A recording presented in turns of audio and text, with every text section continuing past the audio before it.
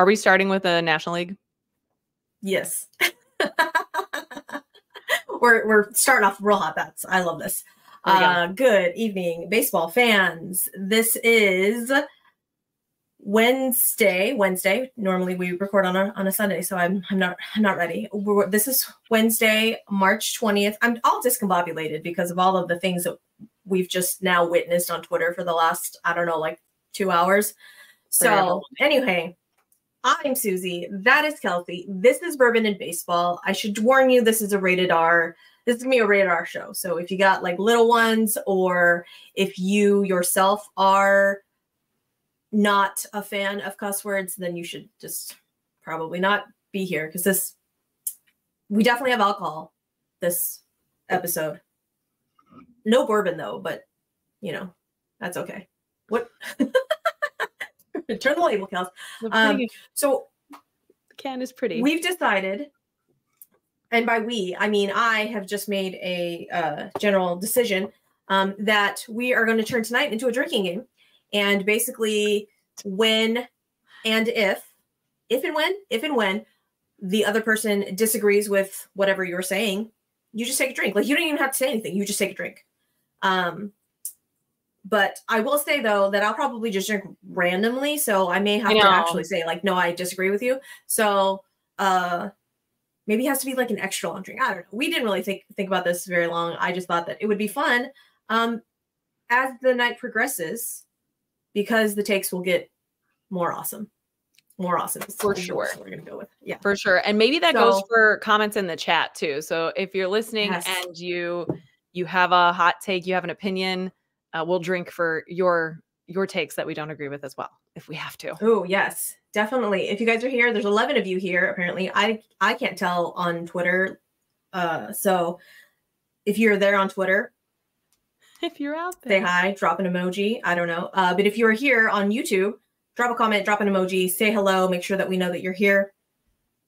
Um, and do you want to do you want to start with the news that I like you texted me and I'm all, I'm sorry, what? I literally was trying to cook dinner for my ch- for my child and I burnt it on the stove. Oh my gosh. Re- reading the reading the news about Shohei. Yeah, so initially, I guess this was like late afternoon, there was a breaking report from uh, Los Angeles news sources. I think it was the LA Times, which is LA you know, Times. pretty yeah, yeah, like reputable, legitimate source. Yeah saying that Shohei Ohtani's attorneys are accusing his interpreter of, quote, massive theft tied to alleged gambling. And so this, of course, is Ippei that we all like know and love. And where mm-hmm. I was like, oh my gosh, there he is in the dugout watching the game this morning in Korea. And now he has been fired by the Dodgers. And all these other things are coming out of like um, when I told my husband about it, he was like, okay, who, but how did like he steal money from Shohei? And so now am I maybe hearing that it, wasn't exactly that he stole money, like maybe Shohei like transferred him the money to try to help pay off his gambling debts? Didn't so the second, third, fourth report that I read, apparently Shohei transferred $4.5 million in a couple of different transactions okay. into or for the bookie. Like he didn't Shohei oh, did not oh, trust Ippei to enough to oh, shit. give Ippei four point five million dollars. Yeah. So he paid the bookie directly. directly. Oh shit. And there lies a problem. I'm all I so my whole thing about this is I really think that Shohei maybe didn't realize that paying off an illegal bookie would be frowned upon slash really illegal slash really against the rules of MLB. Yeah. And you know, is such a good friend that like he's gonna pay for Ippei and take care of Ippei and then get him the help that he needs. At least that's what I'm that's what I really want to believe. Like I really want to believe this. Yeah. And then now after Ippei made these statements to ESPN, I think it got back and they were like, oh shit, Shohei's going to get fined or Shohei's going to get suspended or Shohei's yeah. going to get in trouble for this somehow. I don't actually know like what's going to happen to Shohei. I don't, or if if at all. Um, but then it got walked back. Ippei was like, "Oh, JK, uh, I stole it all." Like, what? Like Mm. Ippei is just like hacking into shit. I mean, he might just be So saying like, that because he knows. not. yeah, he he might have realized it's the only way to protect Shohei. Oh, so Yikes! so now like, pit in gonna have to like take the this for fall Yeah. for Shohei, and then Shohei's just gonna have to put money into like his commissary account in prison and like make sure that he gets protection in prison. like what? I need a thirty for thirty about this. Yeah, yeah. We're gonna need Diane Sawyer on it. Stat. Oh my gosh. So yeah, I mean, we'll keep you updated. Here we've got an update from Kay in the chat. ESPN said Shohei paid from his personal computer with Ippei standing behind him. Oh God, still doesn't make it Like- okay. Ah. and I guess all I'm thinking is like poor innocent Shohei because that's like our our view of him, right? Right. Oh, jeez. How did we go from we don't know shit about Shohei to all of a sudden Shohei has a dog, and then all of a sudden Shohei is married, and now Shohei is wrapped up in a gambling scandal? How did we go from that to this? This is what That- happens when you sign with the Dodgers. He asked for this. the level of media scrutiny and attention and investment in him is tenfold. I was just like, there was that bomb threat too that was associated with him in at the Korea series. I'm like, can you imagine being this man right now? Like his his wife is being introduced to the world for the first time, and people are obsessing over that, like on like Taylor Swift levels, and the bomb threat, and now the, the gambling scandal and you know you're just trying to play and perform after signing the largest contract in sports history so no big deal Yeah. you know, it's maybe the maybe the New Balance um deal will take care of all of it. Like I don't I don't even know. Is my i thought it was on? interesting what oh yeah i think it is now Okay. i think it was interesting what you said to me uh when we were texting about this that like why didn't he bring it up to someone within the organization that that probably would have known how to handle it Right. just to make sure that it never got to even Yeah. this point Well, like I, mean, I mean, we there's somebody on the payroll that has some ridiculous title, and you're all, "What do you do for the team?" And it's the fixer. It's the fixer for the team. Like we, you know that everybody that there's got to be one. All the teams got one. So, why did why did Shohei not be? Excuse me, sir.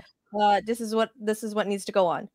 What what's going? I I don't. I have it. The math is not mathing, right and you know, and with the kind of not mathing money because I'm Asian. So there's actually something. With the kind of money that Shohei Ohtani is managing, I can't imagine that any sum, let alone millions of dollars, gets moved without multiple people being aware of it on some level. So that's just another piece of it that is strange. Yeah. I I have no idea. I have no idea. So chat, what do you, what do you guys think? I do you have thoughts on this? Kay? Yeah, is this know, like, Shohei in trouble or or is is Ippei the fall guy, or does Shohei have a gambling problem? Like, I really, I if Shohei has a gambling problem, like, I I don't know what will happen. The the sports world will implode um, in on itself. that would be worse than me finding out at 12 years old that Santa Claus isn't real. So I don't think I can handle that. You found out when you were 12 that Santa wasn't real? I actually I think I was 11. I was in sixth grade. That's that's that's a better story than I have. I learned that Santa brutal. wasn't real when I was six. Uh so and then I had to like pretend from then on for all the other little kids because Mm. like I literally caught my mom presents in hand, tiptoeing. And then she's like, You're dreaming. Go back to sleep. I'm all this isn't real. yeah. Just like all, Shohei sending money. Oh See, that it would be that kind of like heart wrenching for us baseball fans, though. So yeah, I really hope Shohei's hands are clean, and I, I don't know that it's just some drama that will be out of the way before the regular season gets really in full swing because oh, these are not the kind of headlines that we want to be talking about around our I- sport right now. I need to what is going to happen overnight. That's that's what I need to know. And then like the MLB MLBPA is like going to explode. So the it's not even opening day, y'all. Like and we got all all of the drama, all of the is does Ippei get like thrown out of the the team hotel? Oh shit. Yeah, because they're in Korea. Uh Like does he yeah, need to I mean, find his own way home? I would assume I just what I do know, even in like I was working somewhere when someone came in and fired someone else that was working there and they were like fired for like uh, essentially stealing from the company and when that happened it was like once they told them they were fired like someone had to escort them around like the premises to like collect their things and like you Right. know ma- make Well, sure they left so so- I would assume someone is like overseeing, yeah, until he's fully disconnected from. I'm sure it's a whole process. in one of the articles it did say that he that Ippei like stood up in the clubhouse in Korea and told everybody that he has a massive gambling problem Oh, and that there was going to be a story that was going to come out. oh my gosh. So Astro Wharf Craig says the Yakuza is calling. ay, ay, ay. Oh god. Okay. So I I don't know. I don't know. We'll we'll we'll keep you guys apprised when we know stuff. Obviously, you know, if you don't live under a rock and you are also on Twitter, you can follow along too. Um, but yeah, it's let us know if there's any like breaking updates as we Yeah. get into it here. yeah. So um so we've talked about the 4.5 million dollar elephant in the room. Kels, why don't we go over uh the teams and we'll start with the National League. Yeah, so we're going to go through all 30 teams tonight. We will give you their Fangraphs projected record and we're going to give you an overview of the moves they made in the offseason and then just talk a little bit about kind of our thoughts or predictions for this team in in 2024 before we really get going here. So let's start with the NL East. We've got the Braves predicted to finish in first place with a 97 and 65 record. The Atlanta Braves did plenty this offseason, even though they maybe didn't need to. They signed potential starter or swingman Reynaldo Lopez. They added Joe, is it Joe Jimenez? And Jimenez, yeah. and Aaron Bummer to their bullpen, and they traded for a potential high end starter, maybe once again, Chris Sale, and outfielder Jarred Kelenic. So, yeah, I mean, they definitely got better, even though they were one of the best teams in baseball last season and, and have been for a while. Suzy, is there anything that stands out to you that will differentiate the Braves this season from last? Well, I mean, they signed they signed Aaron Aaron. They signed Adam Duvall as well, and I really wonder if that was because Jarred Kelenic is not doing what he thought what they thought he could do. I was really hoping that, you know, the change of scenery was going to help him and not feel all of the pressure because he's the tiniest tiny of cogs in that massive lineup Yeah. so he wouldn't feel the pressure but now i wonder if he's putting like more pressure on himself because he's like i don't have to do anything but now he's really not doing anything i don't know but i think that adam duvall signing was insurance so Definitely. Yeah. they're gonna they're going to win a lot of games i need to know if acuna steals 75 does he does he hit does he hit 50 75 does he hit 50 homers 45 homers? No. Oh man. I mean, He hit that is 41. definitely that's going to be uh, of course one of the most exciting things I think again this season because I do think he will have another phenomenal year. Will it live up to last year or even potentially beat it in some instances will be very fun and interesting. And okay, it's Jared Kelnick. Kelnick. I really want to say like Kelnick. Kalenic because that's what it looks like, but then that's Yeah, like no. Kalanick, which is Yeah, not what we want to be talking about. Kelnick, Jared Kelnick. Kelnick. I totally agree with you. He has, for whatever reason, not reached really major league potential, uh, whether it was with the Mariners and now in spring training, not been great, even though we're trying not to overanalyze that. So that will be an interesting piece for them. And then, of course, to see how Chris Sale fits into that rotation and whether he's an every fifth day kind of guy can only make a really good starting staff even better. So yeah, Braves are going to be fantastic again this year. We'll see how far I have a they can get into the postseason. I have a very important question though for you about the Braves. Yeah. How tight does Spencer Strider's pants mm. get this season? You know, it really depends on if he can alter them the same way that he's been able to before. I heard they're not as, you know, they're they're not as personalized. Yes, not right. as customizable, exactly. But they're so also thinner. So yeah. Are we are we gonna have another like Padres player situation on the like I really hope not, but those quads in like the regular baseball pants were yes impressive. So I just Spencer Strider and his medium baseball pants will it'll be an interesting watch. I just what, I'm like, what's the over under on on that? Yeah. So biggest biggest things to look for are I would say how Reynaldo Lopez and Chris Sale respectively fit into the rotation, and will Spencer Strider split his pants or how many times? What's the over under there? There you go. Guesses in the chat. Let's move on to the Phillies here because I found this kind of interesting. The Phillies are predicted for an 85 and 77 record which is so much worse than the Braves. And maybe this is because Fangraphs just anticipates the Braves being that highly competitive, but I, I, I, think the Phillies might win a few more games than 85 personally this year. They locked up co-aces Zack Wheeler and Aaron Nola in the offseason. They also signed super utility man Whit Merrifield, who seems like a great fit for their roster. But I mean, they're just jam-packed with superstars and guys who are high on vibes. What's your but it's take the same team though, right?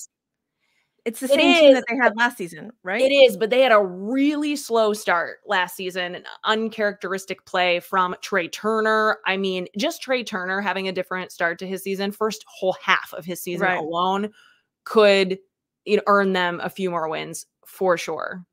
Well, maybe if the Philly fans, you know, clapped for Trea Turner to begin with. Like it would not have been such a big deal. I'm just saying. It's Philly fans. I, That's on you. I'm gonna go to a Phillies game for the first time in in a week or so. And I am very interested what the vibe is going to be like because part of me thinks like I'm gonna be obsessed and I'm gonna fit right in with the Phillies fans, and part of me is terrified. I the, but that's I I'm still confused on how what was their record last last season? Um, that's a great question. I think it was about there. Was it the same? Um, but but I got it right. We're very professional here, people. Here. That's why that's why we have the alcohol. Oh no, they won 90 games. They won 90 games last season. Come on, you really think they're not going to win as many games as they did last season? I don't know. I don't know. And then well, isn't Bryce they got like too? ooh, maybe. Yes. I mean, I don't I think, think he's I don't think he's like hurt hurt. But I wanted to say that there was. I would say. But yes, there is. He's having some back troubles, which he kind of struggled with all last season. Even so, I'm. I don't know. I'm not going to say they got like better because when you pay players, you already have more money. You don't get better, but they're just as good and probably more settled in and familiar with specific roles and everybody I would think is just vibing even more. The Phillies time is coming. Yeah. That's that's what I feel in my heart. Okay, well, you know, the vibes, we're big vibes people here, yeah. right? Like, yeah.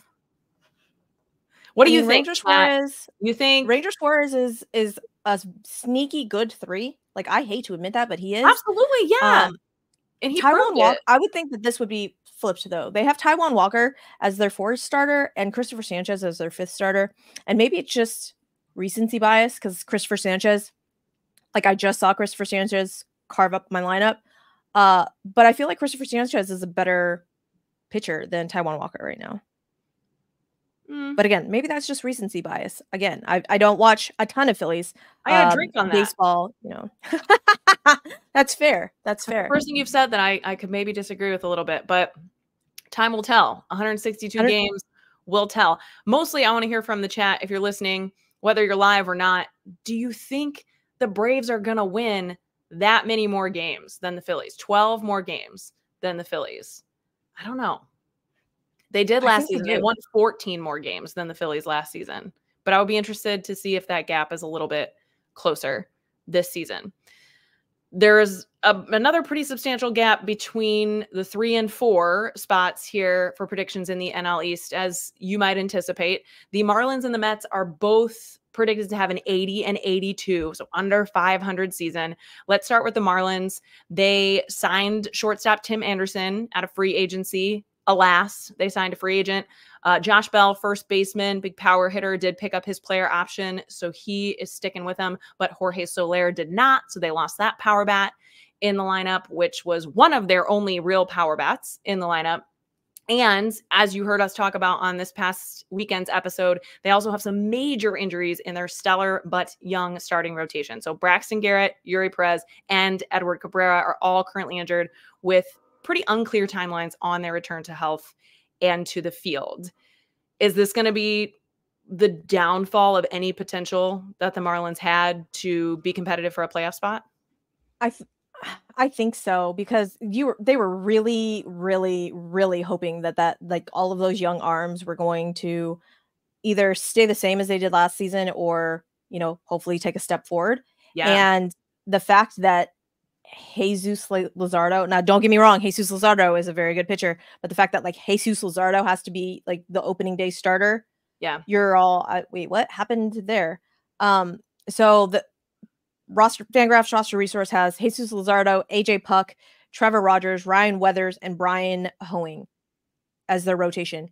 AJ Puk literally carved the Astros up three days ago, two days ago. I didn't have that on my mm. baseball bingo card. No. I'm all, I'm sorry, AJ Puk, where did you come from? Oh, I know the A's, but regardless, how how we did didn't like see it coming. I didn't. I didn't see it coming. I did not have that on my bingo card. And the fact that he got moved from the bullpen to the starting rotation, you're all, oh, okay. So I don't know, but that that bullpen in and of itself, though, is kind of is kind of ridiculous and dirty. I want to say, but like in a good way. You know what I'm talking about, people. Yeah. Yeah. Um, but Tanner Scott as their closer, you're all, who's Tanner Scott? It- it's just another arm that the Marlins are going to bring up that is just going to just throw like dirty changeups and sliders, and you're all, oh, cool. So Yeah, you'll you'll know who he is by the end of the season, especially if they win as many one-run games as they did last season. And that's kind of where I'm on the fence. I think there's a chance that things align well enough for them. I love Josh Bell. I love Jake Burger. I think he's somebody who's like really just getting in his stride in the major leagues and I hope that he becomes more and more of a household name in baseball. Um, and you know, he can make a big difference in their lineup. Obviously, Luis Arraez is a guy that anybody would kill to have in their lineup. Go for it. do you think Luis Arraez gets uh the batting title? Again. Do you think he do you think he hits Ooh, maintains? Because he didn't he didn't get it this I mean, what did he get this last season? Because he didn't win it, right? he did, yeah. Did he win it? Oh, okay. Yeah, the whole thing was actually to see if he would ever get to um 400. 400, which he did not. But I mean, that would just be right Insane. oh uh, you know he just he ended with a paltry 317 like that's but you know Yeah, so I think he absolutely will be in. I guess my prediction there is he'll be in the top three for batting average again, for sure. I think he's that kind of consistent. And it's it's just I don't know. The Marlins are so interesting to me because they have some some pieces that you could build a team around, but the pieces that are weak are so weak that right it really just can't the the, the stars the, and the strong ones can't necessarily make up for it but i love skip schumaker i love their coaching staff and i would love to see them sneak into another wild card spot but they might have to have that one run win luck again. Say that three times fast i was gonna say i'm gonna be your lucky if i get this out once. But Okay, let's so- talk about oh sorry go for it. Well uh, i mean it's going to lead into the mets because you basically Yeah. you said that the mets and the marlins are going to end with the same exact record. Yeah. And at no point in time can you convince me that that's gonna that that's gonna happen. Like just as steve the- cohen drew it up. The marlins and the mets. Yes I mean, the fact that you I mean, you got you got Pete Alonso over there, you got Francisco Lindor over there. Like you you cannot convince me that that lineup of the Mets plus Edwin Diaz coming back is not going to affect the record. Yeah, I don't know. I mean, the thing is the the starting rotation, right? But after losing Verlander and Scherzer at the deadline last season, which was a huge storyline in 2023 baseball lands, the almost 400 million dollar Mets are building a different kind of starting rotation this year. They've got Jose Jose Quintana is back and healthy, but he's on, you know, the wrong side of 30 not a huge strikeout guy. And they've added free agent starters Luis Severino looking for a bounce back, as well as Sean Manaea, who I'm sorry, we need to talk about for a second how super freaking hot, like jaw droppingly, embarrassingly gorgeous that Sean Manaea is since he cut his hair. Have you seen him? I'm not somebody who like sees a guy uh-huh. and is like, whoa, like that's just not. I'm not a super like superficial type of person. It's not the first thing I notice about people, but I saw him and I was like, excuse me, sir. It's, well, uh, you know, a good haircut will do one. Where have you been under all of that hair? Yeah, it was it was shocking. But, but the real question is how much smaller did his hat size go down? Because he didn't have like four pounds question. of hair to, to deal with. That's Sean, if you'd like to come um, on the show, we have the hard hitting questions here for you. Yeah. As Aaron, you mentioned, they also uh, have blue shirts. Ooh. Hold on. Aaron Blue Shirts Banter says 85 wins for his Mets. I honestly, I I believe it, Aaron, because as weird as it might sound, I do think the Mets will be at least at the very least, which I guess this would be 80, 80 wins. Maybe I, I can't again remember what they're they finished at. They finished close around here last season, but uh, I think they'll be better than they were last year, which is crazy because last year was like the year that they were kind of in the Dodgers conversation of like we spent all this money, we loaded up in every way, and we're gonna make it happen. But sometimes when you have to be scrappy and more strategic, that's when things come together. And I kind of think they might have a better shot at at least having more wins this year than last year. What do you think? Okay. Taking a drink, taking a big swig. I don't know. The Mets make me drink. Just by by and large, the Mets. It definitely me makes me drink that uh, they added Harrison Bader as a glove for center fielder. My precious Harrison Bader. But as you mentioned, they have stars like Francisco Lindor, Brandon Nimmo, Pete Alonso in the middle of their lineup, and their superstar closer Edwin Diaz is back, which was a huge blow for them last season. And not in a good way, people. Not in a good way. Not the good. I, yeah, no.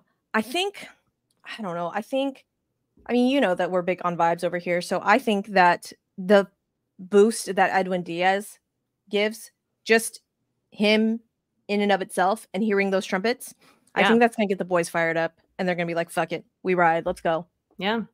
I'm looking at the projected payrolls for this season, and the New York Mets and the Miami Marlins set to finish by Fangraphs predicted to finish in the same place. There is almost $200 million difference between their payrolls. So I'm sure if, if if you'd like to stab the uh, Met fans that are in the chat, just a little bit deeper and like twist the knife, um, read how much money is not going to players on their team. Right. That too. I mean, that's the part that really hurts, right? Oof. Well, we'd be remiss not to mention the Washington Nationals, which are also in this league, but they are projected to win 66 games, uh, 66 and 96 record, which sadly sounds about right. This offseason, you may have missed it, but they signed outfielder or maybe DH Joey Gallo to a one year deal with mutual option for 2025. They also hired former Major League pitcher Sean Doolittle as a pitching strategist. And the thing I want to keep my eye on this season for the Nationals is they do have a pretty exciting young shortstop, CJ Abrams, with some other guys in the mix there as well. Uh, but Abrams is expected to have a, a breakout kind of year. Is there anything about the Nationals that you are excited to watch for this season? I no. You've you've named literally the only like two players I know on the on the Nets like from from memory. When I if like if I looked if I pulled up their roster, I'm like, oh yeah, no, I I recognize some of these names. Like Lane Thomas, I think is going to be sneaky good for him. Um, yeah, but really and truly, you're all. That's I think that's all I know. And Nat fans, I'm so sorry. I couldn't mention Lane Thomas because Cardinals fans are still so fucking salty about Lane Thomas oh. having any level of success. Uh, Wait, they why? also did because he was traded away. I can't even remember. Uh, this is how uh, hmm, people are going to be so mad that I don't remember. Like, oh, because it was not a it was not a good trade. But the point is, it didn't work out well for the Cardinals, and he's just another one of kind of the trail of outfielders that has left and had more success elsewhere. Ah, that you know, okay. Richie Palacios is going to be Tyler O'Neill. Like, just you know, keep it coming. We've got a whole whole slew of players that I'm sure we'll see that continue to happen with. But that happens with every team, and I don't know other fan bases. If if you feel like your your fan base is like this, but the Cardinals in particular, like have a really hard time letting go of trades that didn't like work out really, really well. Like, come on, they traded for Nolan Arenado and the Rockies are paying so much of his salary. And it was just, I mean, a ridiculous deal that never ever happens. And obviously, we're happy about that. But literally every other trade that's ever happened, we will never live down. And I'm just like, let's, we can be happy for these guys to have success elsewhere. And one other player, former Cardinal, that I really hope we see have some success with the Nationals is Juan Yepez, who was up and down from Oh. AAA to the bigs the last couple seasons. He has a great potential as a a, a power right-handed hitter, but he's not super valuable anywhere in particular on the field. And I don't know. I mean, he may find himself a home somewhere in that Nationals lineup these days. Uh, we'll see if he he makes the roster. But how do you feel about their manager, Dave Martinez? all I really remember about Dave Martinez from last season was that he got really, really mad and like almost fought Dusty Baker. I don't Mm. even remember about what, but I don't. That's all I re- really remember about him. I just think he gives me like good vibes. I really like him. And I think it's weird to me that they are clearly like invested in him. They keep extending him and are not invested in anything else. But obviously, he's a lot cheaper of an investment than other things these days. But I do think that they are holding on to him until they have a better handle on what they have in their their farm system and what kind of excitement they have coming up till they really start to rebuild. But that is uh, where they're at right now. They are, have yet to really start their, their rebuild, or they're kind of in no man's land. So, yeah, sorry, Nationals Yeah, fans. I, I- know you're out there somewhere. I have no I have no really thoughts on this. And I going through um their Fangraphs roster resource, it jogged my memory that Victor Robles, their center fielder, um, robbed Jeremy Pena of a like straightaway center field home run Mm. in the last spring training game. Now I, I I need you guys to know that Jeremy Pena has not hit a home run since July 5th of last season. Okay. So the fact that like Victor Robles stole it, like legitimately stole it, like out of the out of the fence line, just it just made me very sad. Made me very sad. Um, Astro Wharf Craig says they all can't be Ernie Broglio for Lou Brock. This Exactly. is before That's- this is hashtag before baseball Suzy. So I have no idea who these people are. Well, that's it. you don't know who Lou Brock is. No, no. Is he is he up there with Andrelton Simmons? no. You know who Stan Musial is? yes, I know who Stan Musial is. Okay, Lou Brock is is in up there in the the Stan there, Musial okay. level of conversation. So anyway, that was that's a perfect trade compare. That's exactly what I'm talking about. They can't all be those kinds of trades, and every team has the same success and lack of success in the long run. Since we're talking about the Cardinals already, let's hit up the NL Central. The Cardinals are predicted by the skin of their teeth to win the NL Central with an 83, a whopping 83 wins, 83 and 79. So you'll see the uh the top two teams in the NL East are predicted to win more games than that, but yeah, here we are in the Central Division. So the Cardinals, if you missed it, they signed top of the rotation pitcher Sonny Gray as a free agent, along with veteran innings eaters Lance Lynn and Kyle Gibson to solidify a truly ancient starting rotation. They did add some swing and miss to their bullpen with free agent reliever Keynan Middleton. Unfortunately, he has a forearm strain, and we all know that means uh, a month or two or more. So that's a bummer. But they did make that move, and they do have a lot of promising young talent at the plate in the likes of Jordan Walker and Nolan Gorman, and defensively with Masyn Winn at shortstop. They prioritized adding veteran leadership vibes with Matt Carpenter and Brandon Crawford to keep the average age of the team uh, well into the 30s. And yeah, all in all, I do think the defense and the depth behind their pitch to contact rotation should be improved from last season, especially if we can get some guys healthy and rely on more consistency there. So that's where I'm kind of trying to turn my my attitude about the starting rotation into a more positive one. That's my my positive take. Listen, Do Kelsey, we've been talking about this the entire season. The entire season, Kelsey. That that rotation is just built of Bengay and vibes. Okay, Bengay and vibes. That's all. That's all that's happening this season. Bengay and vibes, people. It's funny because uh, I would normally think like I look at 83 wins and I'm like, what a joke. Of course, the national media is undervaluing the Cardinals again. And but I look at 83 wins and I'm like, you know what? If this is if this is what happens and they win the division with 83 wins, like I won't be mad because it's so much freaking better than than 71 wins.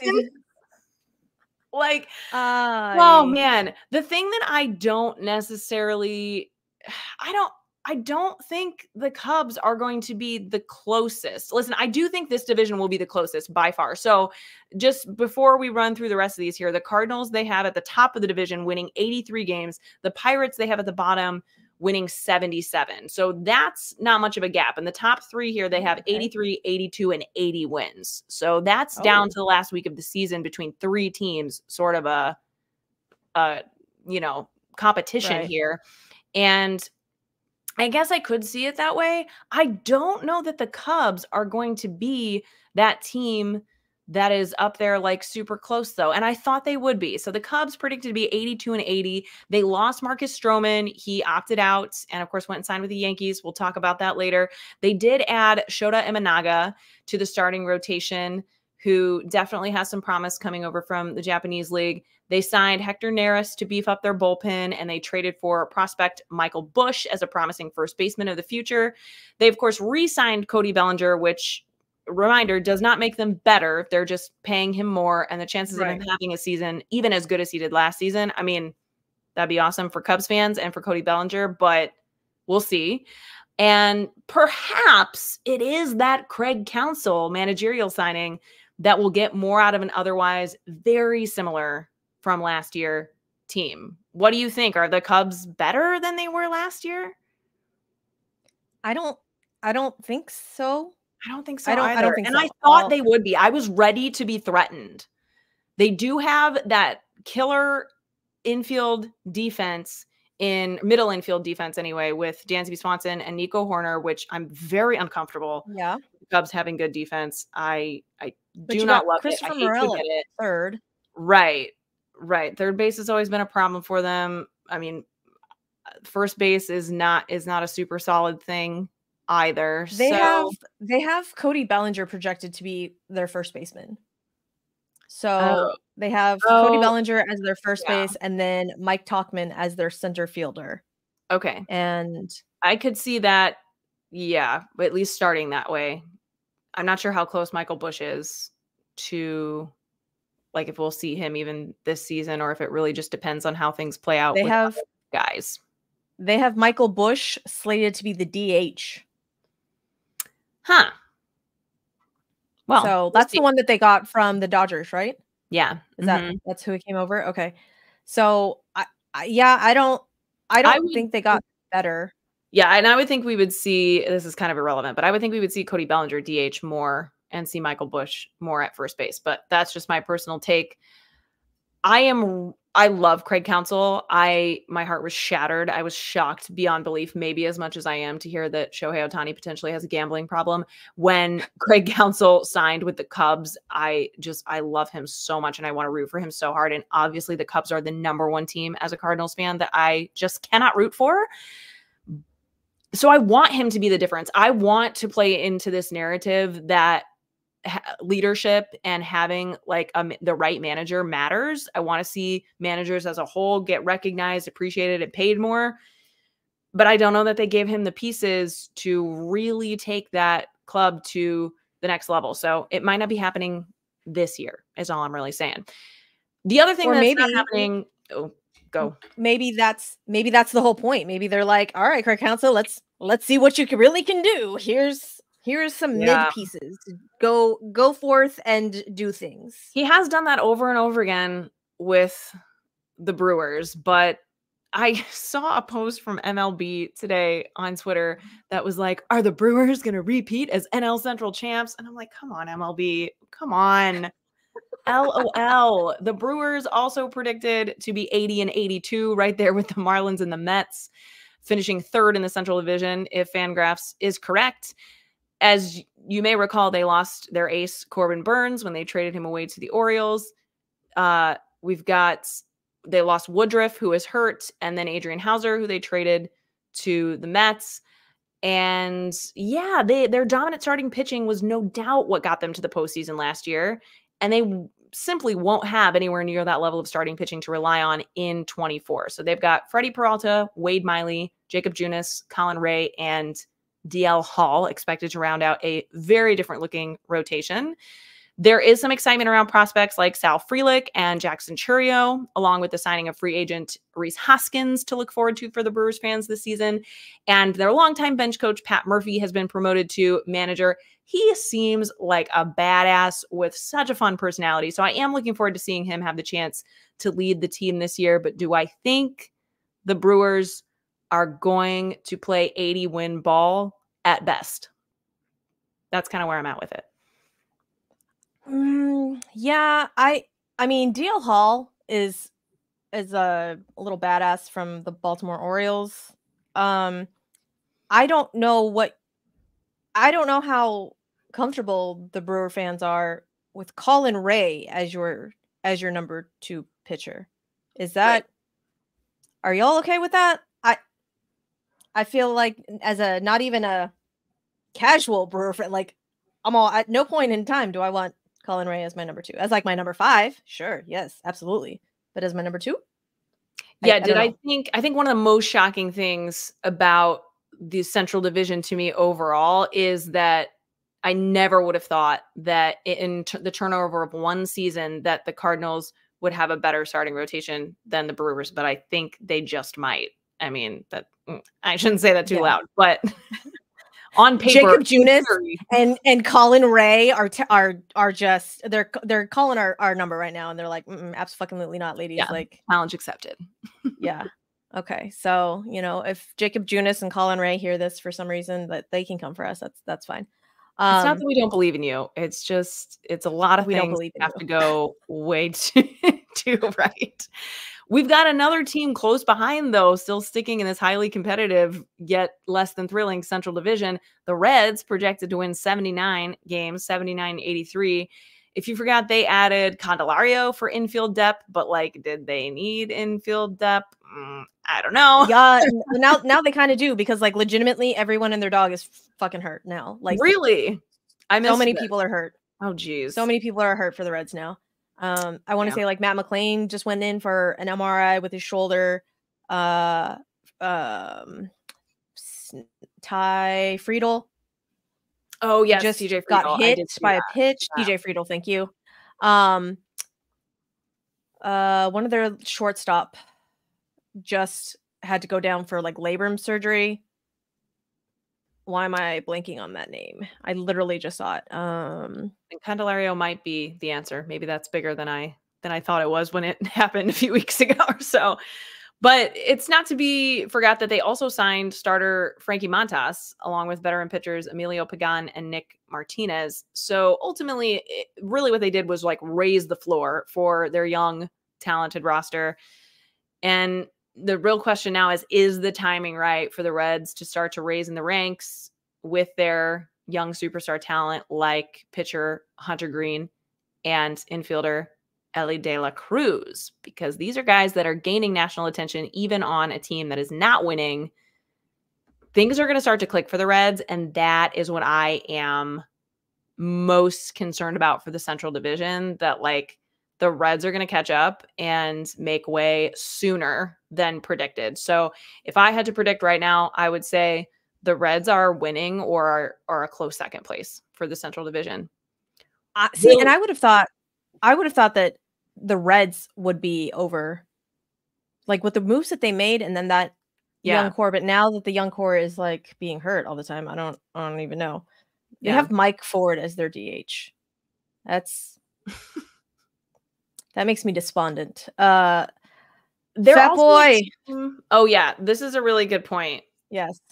Uh, that Devin, Devin Williams, going Williams down, going down, yeah. loss for for the Brewers, and they are a team that you know with a lackluster offense could potentially play in a lot of close games, and that closer could be the difference maker. So that's they have Abner Uribe and all apparently all closers are the same. More or less. Relievers are a dime a dozen. That's what I was told on Twitter. So, you know, I read it on Twitter, guys. It must be true. But yeah, I think the Reds are maybe one of the most underestimated teams in baseball this year. And I said that last season too, because everyone was predicting that they were going to have another 100 loss season or whatever. And like, I think I said they were going to win at least 75 games, and they did. And yeah, I just I think they're also a team that is in a good position to make moves as needed at before the break and or before the deadline. And that's something that's easy to take for granted. But when you look at standings that are pr- predicted to be this close, that could absolutely be the difference maker. The Pirates are close enough, but not as close. Projected for 77 and 85 record. They did add DH and left handed bat Rowdy Tellez. He's a fun guy to have on any team. Looking forward to seeing him with the Pirates, along with a ragtag group of pitchers uh, in Martin Perez, Marco Gonzalez, and everybody's favorite, Aroldis Chapman. Uh, they signed their starter, Mitch Keller, to an exciting extension, and they have a young rising star shortstop that I don't want you to forget about. If you forgot about Oneil Cruz because he only played in nine games last season, he is back, he is healthy, and he's going to be so fun to watch play, especially alongside Andrew McCutchen, who is one of the most beloved players in all of baseball right now. Tom, what's up? Yay, baseball! Yay! Hooray! baseball! Tom joined us. Tom, Uh, okay, so now just in time. just in time because I'm I'm about to pose a question. I love it. Let's Which do it. Which shortstop Cruz is going to have a better season? Which for the Pirates or for the Reds? Elly I De La just- Cruz or or um Oneil. Oneil Cruz? Thank you. I was like, I I just saw- five percent of alcohol is a lot stronger than I had assumed. I just saw Oneil Cruz go nuts, and before he got hurt, he was going nuts. Yeah. So give me Oneil Cruz because as much as I thought Elly, and I, I still think Elly's great, I think he kind of slowed down a little bit. He kind of tapered off. Where Oneil Cruz is a freak of nature, in my opinion. I opinion. agree. And I So agree. do, do you do we think that the Pirates are going to have a better record than the Reds? no, I think the Reds have a better team. Oh, but I think Okay. I, I think if you just give me one for one, I think Oneil is going to be the better. I would- take that bet. I would Okay. bet for better numbers from Oneil. I agree. I think he's more ready to be more competitive at the major league level. And also, Tom, I'm so mad that I didn't wear my Dairy Daddy shirt now. Let's go. I what totally forgot about that. Dang it. We talked about this. I know you, sh- you didn't remind us. Oh man. Okay, Um, well, we also gonna have to talked about all of us weeks. being here at eight o'clock, Tom. So Yeah, Tom. you know, you win some, you lose some. Okay, We're all? I'm even then. saying. We're all even. Danville Dairy Oh. Daddies, baby. Get milked. we all have the same Dairy Daddy shirt. So yeah, we have to wear them on an episode together soon. Well, Tom, Very just soon. to catch you up, we've gone through the NL East, we have gone through the NL Central, and now we're getting to the NL West with the team that everybody is talking about for one reason or another. The Dodgers are, of course, predicted to win the NL West, but not maybe as many wins as I guess we would have thought. Not as many wins as the Braves, is what Fangraphs predicts. 93 and 69 is their projected record.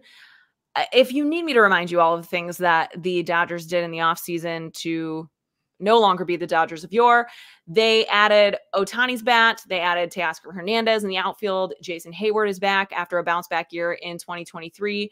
They got a couple of young prospects from the Cubs in that Michael Busch trade. And oh, the pitching. Yeah, they added Yoshinobu Yamamoto, who is uh, quite likely has every opportunity and reality to be an, not just a number one, Suzy, but an ace, I would say. Uh, and, you know, Tyler Okay. Glasnow to their rotation. They brought back Joe Kelly and they added James Paxton's arm as well. And we all know, we all see those three MVPs at the top of their lineup. They've got young Gavin Lux and his bat, even though he has struggled to return to form defensively at shortstop. So, you know, Mookie Betts, totally fine, just like seasoned veteran, going to move to shortstop in the like ultimate team player move because kind of puts him out of his element. Certainly not ideal for him, but he can do it all. And it, it looked good in the first game of the season today. So Lux is going to play second. It is, quote, permanent for now. And then they also brought back utility man Kike Hernandez for, you know, bench depth and all the vibes. What do we think? Immaculate dance moves.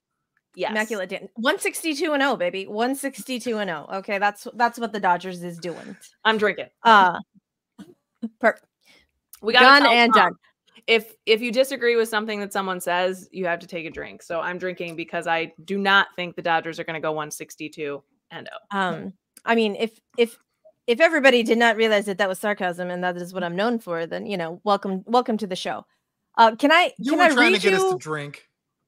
That's true. I mean, it's it's fun, and we haven't done it in quite some time, and it's we might as well. But can I just read you the list of pitchers that are on the IL right now Yes, for the please. Dodgers? Let's Walker Buehler, Tony Gonsolin, Clayton Mm. Kershaw, Tony Gonsolin. Dustin May, Emmett Sheehan, Brusdar Graterol, Blake Treinen. Like they have an entire like rotation and a half just chilling on the IL. Damn, you're right. Um, I Brusdar Graterol and Blake Treinen are on the 15 day IL. Brusdar for shoulder inflammation, Blake Treinen for a bruised lung. People in the chat, I need to know what exactly is a bruised lung. How does one get a bruised lung? Tom, I texted this in the group, and Tom said that it was like very uh, a big injury in football. I'm all that's it's we're we're in baseball, people. Like what's Sure. happening? So did did did like a comebacker hit Blake Treinen at some point in time? Like in the chat, like how do you get a bruised lung? I understand a bruised rib, but how do you get a bruised lung? Like the ribs, if I'm correct in my anatomy, which you know it's been a long time, don't the don't the like the ribs kind of protect the lungs, or am I I think they're am supposed to. I am I wrong? Yeah, but if rib hits lung, bruised rib or bruised bruised lung. If the if the rib hits the lung, are we not puncturing the lung? Like what is happening? yeah, I I don't know. I should have asked my brother about this. He's a respiratory therapist. I'm sure he knows. I'll I'll ask Oh. him if I get a response while we're on. I'll, I'll Okay. let you know. He definitely will Pe- know. People in the chat. Do I have any Dodgers fans? Do I have anybody in the chat that like knows what the fuck I'm talking about right now? Because I I need help. I need help. I was gonna Google and then oh. I I saw something shiny and it left my brain. and so yeah, but the fact that they have a literal rotation and a half is on the IL is just ridiculous. Gavin Stone won the fifth fifth starter. He just looks stupid, dumb, good, and that makes me mad. I think the thing that I am on the watch for from the Dodgers pitching specifically this season is the number of innings that they get from individual guys. And maybe to your point, that will matter less because they have so much depth, especially, you know, potentially in the second half of the season. But yeah, I I don't know. I guess I like to think they're just not going to be as completely dominant as we think. But the other thing that I am excited to watch uh, with Ohtani specifically is I think we're going to see him show off his speed a little bit more that he's, uh, you know, not got being on the mound to focus on, and I think that that could be really fun. How many bags do you think he steals this this season? How many did he steal last season? Like I don't, I don't know if that's Did- even comparable to Wasn't 30 Wasn't he a 30-30 guy? I don't think so. Let's see if I can. We're it. again Twenty. The real question is is, is are the Dodgers going to run? I don't know with that lineup that they're going to turn around and go, oh, well, let's put everybody in motion. I imagine they're probably going to be more traditional and just let them hit each other around the bags. Um, if Ohtani wants to run, he could steal over 30, no problem. If they're more reserved to going, hey, we've got a really good hitter at the plate, let's not send him. Then Yeah. he probably then he'll probably be around 20, like you said. Can we take a moment to not like Mookie Betts? I just don't want to like him. And the reason is he's absolutely friggin' good at everything. He should not be allowed to be good at everything. Like he bowls a 300 game. Yeah. He can dunk a basketball. He can he can catch passes in football, and Oh, now I- he can I- play well- every. And now he can play every position on the diamond. I, I don't know. it's Isn't Mookie fair. Betts like five eight? Doesn't matter. Mookie Betts is five eight. He can dunk a bas- I, I need He video. can dunk need, a basketball. It's stupid how talented Mookie Betts is. It's not fair, and I just don't want to like him for that reason. I think I, I seems like- agree with and he you. seems like a nice guy too. Yeah, Yeah, another reason I don't want to like how, him. Like, How dare you seem also like you have a good personality? be a villain at least. Mookie Betts. Clip this. Yeah. Um, Yeah, no, but I- here's what I uh, here's what I do want to say, Tom, and this might make you feel a little bit better, is that I have heard the national media talking recently about how, you know, Mookie Betts might be the second Major League Baseball player ever to win a gold glove in both the outfield and the infield during his career. And what I say to that is, have you heard of Tommy Edman? Suzy, I know you have. He very well, more realistically, I believe, could be the second player in all of Major League Baseball to win a gold glove. He has won one at second base, and I believe he could very realistically win one in center field if he gets healthy. That is my truth. I'll drink. I to that. mean, if the Astros had their way, Mauricio Dubon would be right up there with with with that competition. Really? Okay. of all the people, I gotta drink again. The last person in this chat that I thought would bring up Mauricio Dubon, noted center fielder, would be Suzy. Listen, I'm still, I'm still okay. When we get to the fucking, I'm gonna, when we talk about the Astros, I'm still gonna be fucking salty about how I'm well gonna need another Dubon's beer. been, Like that's Like, what's gonna happen when we Listen, get there. listen, I've, I'm Okay. already done with mm. my my punch. I need another. so I we need another. get drink. to the Astros, we got to get through this NL West, and we're done talking about the Dodgers. Let's move on. Diamondbacks, baby, Snakes revenge snakes alive! is on. Snakes Let's alive! go. The Diamondbacks are predicted to have an 83 and 79 season, which is just one different than what they had last season. I believe they were 84 and 78. That NLCS pennant winning year. Here's the thing they got better. They got to the World Series and then they weren't like, you know, we're going to step back, we're going to run it back, we're going to save our money and, and just count our dollars and enjoy it. No, they went out and they signed Eduardo, or I'm sorry, Eugenio Suarez at third base. They signed Eduardo Rodriguez to fill out their starting rotation. They signed Joc Pederson, huge upgrade, power bat for their lineup. So with Joc Pederson and Eugenio Suarez, that lineup is so much deeper than it was in the World freaking Series, where they were highly competitive last year. They, of course, retained Lourdes Gurriel Jr., along with many young, exciting players that I truly believe we have only started to see the best from. And I say that it is Snakes revenge season because the national media is still trashing and ragging on this team like they did not deserve to be in the playoffs, let alone the World Series last season. And I'm just I mean, so tired of that narrative. To be fair, though, like literally nobody expected the D backs to do anything last season, and so you guys they- were on them just- they- before anybody. Thank you. cheers. I think so cheers, too. because we know ball, mean- known, known ball knowers. They taught me to the known ball back, knowers. so I got I gotta I gotta give y'all the flowers there because I was over there going, what are they talking about? And then I start looking, then I start watching, like, all right, they're pretty good. They're yeah, they're Of all the teams. teams, they took down the Dodgers. Mm-hmm. Mm-hmm. Absolutely, they they I- took down the mighty Phillies. I want to think so bad that the Dodgers and the Diamondbacks are going to be much closer than 10 games apart when this all is said and done. And that's what I'm looking for. And I, I I, hope so. truly do believe, maybe that's my heart talking instead of my head, but I do believe that they will be a lot closer. The Giants are actually, hope- Wait, hold on. go Um, ahead. Erod just Erod just went down though. Like I don't know about how long though. We're hoping not long. We're hoping not long, but he had he had to leave the the last minor league, um, his last minor league start, and Torey Lovullo is hopeful that he will be on the opening day roster, but not counting on it. I'm all what what what are we doing, Torey? Like, why is that a, why is that your quote, sir? I So mean, it's probably honest. It's the best we can ask for, honestly. Yeah. But no, I just think that guys like Gabby Moreno and Alek Thomas, like we just they had just started to scratch the surface. Like even Corbin Carroll was a freaking rookie. Like come on. They are going to settle in and they they have so much to play for that they've still got that fire. I I just think we've yet to see the best of nearly every player on that team and that's really yeah. exciting. Yeah, and then uh, like I, Randal Grichuk they signed as well to platoon with uh oh, that's right. Randall Tri- mm-hmm. Grant, Randal Grichuk just had ankle surgery, I want to say, so I don't know how long he's down for. Um so they have a rookie though that is like making all kinds of waves. Blaze Blaze Alexander. Blaze, yeah. Legitimately, he was aptly named because he's been tearing the cover off the ball.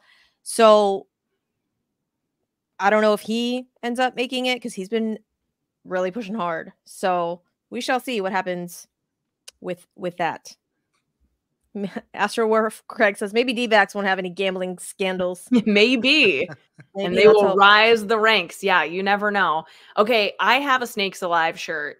If the Diamondbacks get into the playoffs in 2024, will you two get Snakes Alive shirts and we can all wear those too? I'll buy it right now. Absolutely. I don't need, I don't need the playoffs. I'll do I'll do it right now. I'm not I'm not scared. I mean, oh, I look, I have a I have legitimately only one other piece of other team gear. Yeah. Okay. Besides the Astros, I have one. And that is, is a Diamondback shirt. And it says, We're fucking dangerous with like the rattlesnake. oh, yes. I've seen it. Okay. Let me ask you this. If you had to buy a Diamondbacks player's jersey, you can only buy one. Whose name are you getting on the back? Don't do that to me. That hurts my so, soul. So, so that's where I'm kind of like, uh, I'll buy a shirt. A jersey is kind of like ownership, and I, I'm, yeah, I'm yeah. Astro to the core. Okay, so but like, if someone was going to give on. you a free I would, one, I would. Oh, Gurriel. Well, I take that back. And I could and I could tie it together. Yes, you could tie it together. I'm gonna have to go with uh, my Asian brethren. I'm gonna have to go Corbin Carroll, and the fact I, that he'll be a Diamondback for a while. So yeah, I would have a really hard time picking between. I am obsessed with Lourdes Gurriel Jr. I just absolutely love him. Like no matter what team he was on, I would follow him anywhere. But I really like Gabby Moreno a lot too, and yeah. I'm just I have a fondness and appreciation for catchers. So yeah, that would be tough. I also think it's tough that the San Francisco Giants are predicted to have the same record as the Diamondbacks, 83 and 79. I do see that a little bit more realistically. Uh, you know, as of late, they signed Blake Snell, of course. They also signed flamethrower Jordan Hicks, who they're going to give a shot to as a starter. And that trade for Robbie Ray, who is expected to come back and could be a difference maker for them the second half of the season in their rotation. They signed third baseman Matt Chapman and DH Jorge Soler. They also, don't forget it, signed Korean star center fielder Jung Hoo Lee. You guys, did the Giants do it? Did they have an off season? I no, think they did. No, because I, do you know who their shortstop is? You know who their shortstop is? Their shortstop is Nick Ahmed, who the Diamondbacks fucking DFA'd last season. They were like, I'm sorry, Nick Ahmed. We know that you've been here for like, I don't know, 11 years, but you got to get the fuck out. They DFA'd him in the middle of the season. And they called they called up the young guy. They called up the young guy. They were like, hey, "Let's go, let's go. You you come you come up." And then they were like, "Oh, just kidding. Geraldo well, Perdomo, come come be over here." Like, no, no. The Giants they didn't want Brandon Crawford to stick around, so the the the Giants fans in the chat, if you're here, I don't I don't know why you'd be here, but if you're here, Gi- Giants fans, can you honestly, legitimately tell me that you are happy with your with your position players? Like, yes, you signed Matt Chapman for third base. Cool. You have Jung Hoo Lee. You have the two mics in the corner, Conforto and Yastrzemski. okay, maybe. It's not late, a bad lineup, though. It's really late not. night LaMonte. Okay. All right. Like I mean, they, almost, they almost made the playoffs last season. Exactly. And and, and that one two at the top say what you want about Blake Snell because I will at a later point. Um, when he wants to be, he's good. He, when he wants to be, he's good. You know, um, I think that this team is at least going to be dangerous. I don't know if they're going to be good, but they they on paper they should be able to play with anybody. Yeah. Yeah, I think Blake Snell actually is a great fit for the Giants. He is less pedestrian and everything about the way the Giants approach to winning at least as of late, is very less pedestrian. Is a nice way to say it. But yeah, I just want them be to be more fun to He watch. will be the prettiest cheerleader, cheerleader in the room. Okay. He- Congrats, you've done it. Head cheerleader Blake Snell. anyway, the Padres are projected to finish fourth in this NL West with an 81 and 81, right at 500 record. Of course, they traded Juan Soto to the Yankees, but they did get a good haul of pitchers along with catcher Kyle Higashioka. Hi, Kyle Higashioka. I'm like, I can There say this one. Too much hard kombucha. That's what it does to you. Kyle Higashioka. In return, they pulled off a trade for starting pitcher Dylan Cease, which has been all the talk as of late. And uh, if he returns to 2022 form, I mean, he could be a major difference maker this season for the Padres. They made scrappy bullpen moves like signing Woo-Suk Go, Yuki Matsui, and Wandy Peralta. Didn't work out super great for them today, but it's only one game. Uh, after losing, of course, superstar closer Josh Hader to free agency. They did re-sign Jurickson Profar to play in the outfielder or in the outfield, and then they have so many shortstops, including Xander Bogaerts, Ha-Seong Kim, and 20-year-old Jackson Merrill, who I didn't even realize is actually by trade a shortstop. So here's how it goes: all the shortstops, Bogaerts is going to play second, Kim is at short, and Merrill seems to now be their starting center, Center fielder. fielder. So if anything, Legitimately, everybody is a converted center fielder. yeah, for the catcher. They really have some opportunity uh in the outfield there. I don't know. Is that like the biggest thing that's lacking for the Padres? I mean, they have Tatis out there, but the other two guys are like probably not everyday major league outfielders. Jurickson Profar is defense first, obviously. Like he's he's a pretty good like outfielder. Jackson Merrill, I think, is going to be sneaky good. I, I think um I mean he's young. I think you said he was 20. I thought 20, maybe did he just turn 20? quite possibly. Because I want to say he was like 19, but yeah, uh super young. And I think he came up when he was like 17. Him and like Ethan Salas were hanging out being fucking tutored. It's still in like high school. You're all, oh, okay. You're supposed to be going to like senior prom, not being drafted and and getting bo- sinus like bonus sinus bonus signings bonus. I need that on a There shirt. It's not I want all the ay. bonus sinus. It's it's good. Um, it's not like who who is Tyler Wade? I was all Tyler Wade. Where did where did you come from? Like over here? I I don't know. Um, Jay Cronenworth. Maybe we need to tighten up our gloves before the game. I'm just saying. You, Yeah, we double logistic. triple check that. Okay, then maybe it won't cost you a game. Uh, I'm I'm really sad that th- this team is going to be fourth. Like, yeah, I why? think That makes me this so is a good time to make my overall prediction, even though we haven't gotten to the last team in this division yet. Uh, We do we really need to talk about last team? The last team do shit. Not really. I'm very sorry, Rockies fans. But my here. my overall prediction for the NL West is I do think it is going to be a closer race than what Fangraphs has projected. There may only be two, maybe three teams that are that are closer, but I do think it will be closer. There's a lot of potential here. And I don't know, the Padres are kind of like the Mets last season for me, of where I think they've had to be more strategic. They've had to take a different approach, but they still have some of those guys that they paid a shitload of money to. And Yeah. if you can find the middle ground with both, with having to be scrappy and strategic, and also having some guys you spent big money on, I mean, those are the teams that that come out into the playoffs. So I'm not saying that I think the Padres are a playoff team, you know, put it into to blood or anything like that. But I I don't think they're good. Yeah, I think they'll be at least a 500 club. I think there's every reason Yeah. to believe so. And I, I don't think they like got that much worse. you know, well, and everyone's like, oh, but they lost Juan Soto. Okay, but like, look what you did with Juan Soto. Surely it can't. I mean, I don't know, and I feel like maybe that was part part of the issue because there is way too many pretty cheerleaders in the room, and like, Yes. and and then again, if you're all hot, nobody's fucking hot. Okay, so maybe now there's one less, well, I guess two less hot girls in the room now, and so now maybe the others can shine just a little bit more. Uh, but you know, Ha-Seong Kim being the hottest of them all, just putting it out there. Listen, my Fernando head, Tatis Jr. fans are like, "What the fuck, Suzy? You Oh, don't know all ball." of them. It's okay. all of them, yeah, they they canceled you the minute you said that. Listen, I'd like to think like my head says the Dodgers run away with this thing. My heart wants this to be an absolute bloodbath where Yeah. they're all really like in the middle, beat each other to death because Mhm. like you said, what what they were able to do with Juan Soto, turning him into Dylan Cease, a bunch of prospects, uh, a Higgy for depth, and and all these things might have been addition by subtraction. Like, yeah. and, and I think Suzy was kind of saying that.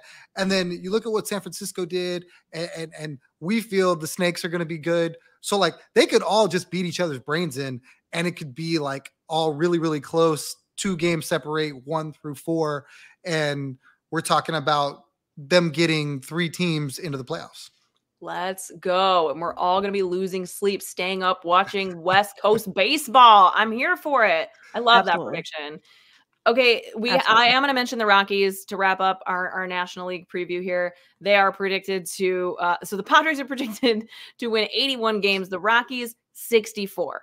Oof. 64 and 98. What did the Rockies do this offseason? Uh they signed Jacob Stallings, who was the former catcher for the Marlins. He is a, a gold glove catcher.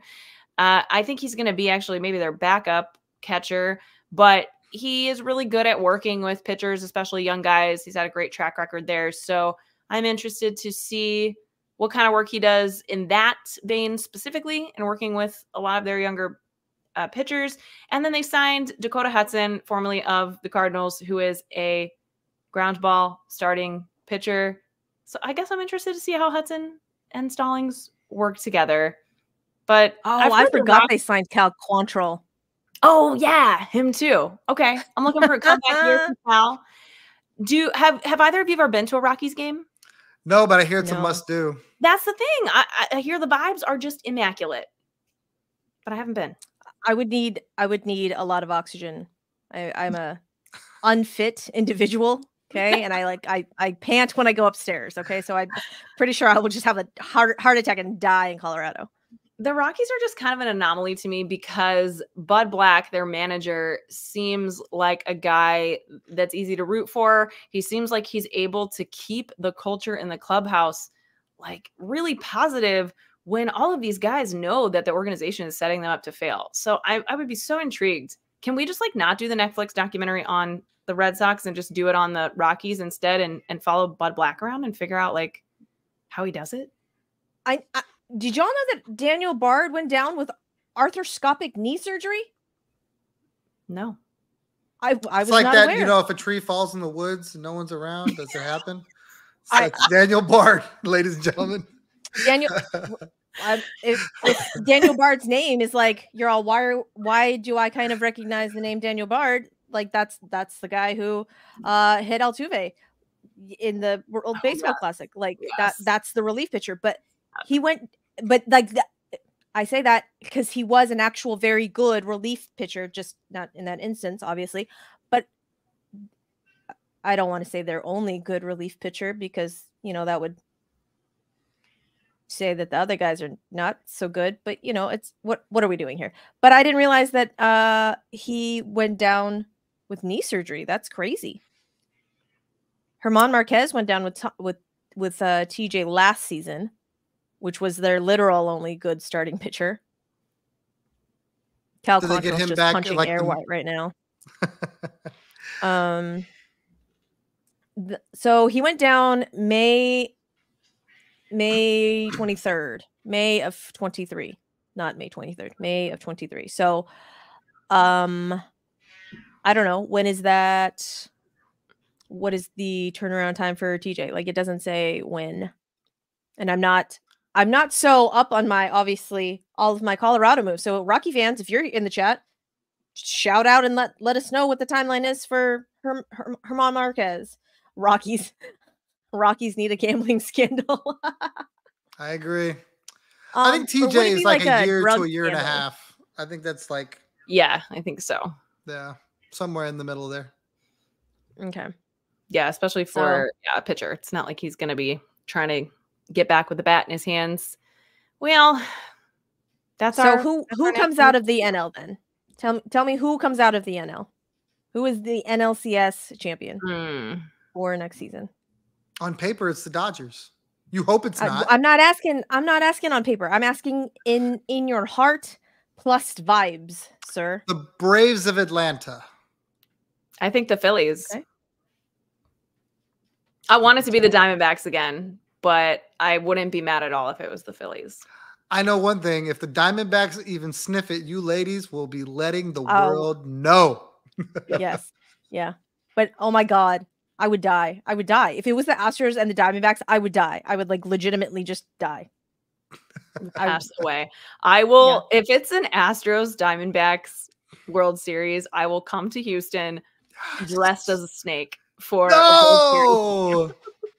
No, invest in the snake costume. that's fair. Wha- It's got to be orange then. It's got to be an orange, Orange snake, snake. costume.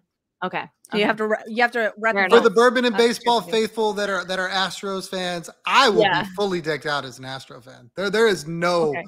there's no snake love when it comes to those two at all. It'll Okay, there will be be 100 percent Listen, Astros. Listen, listen, sir. Listen.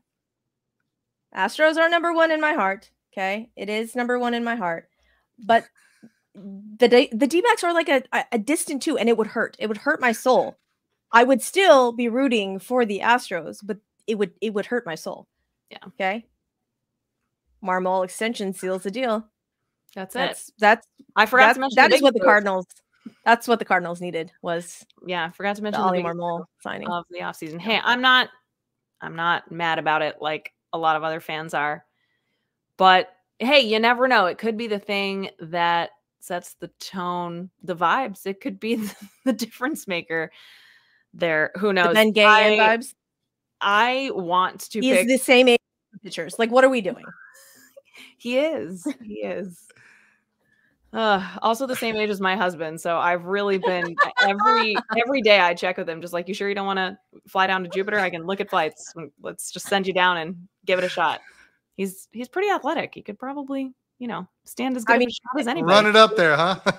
If he have him work on a knuckleball, uh, the, the one of gotta- the just pitchers get the grip for the Padres is is a knuckleballer. Uh, Cosgrove is that? No, it's I not thought it was Waldron. Waldron. Thank you. It's Waldron. Yeah.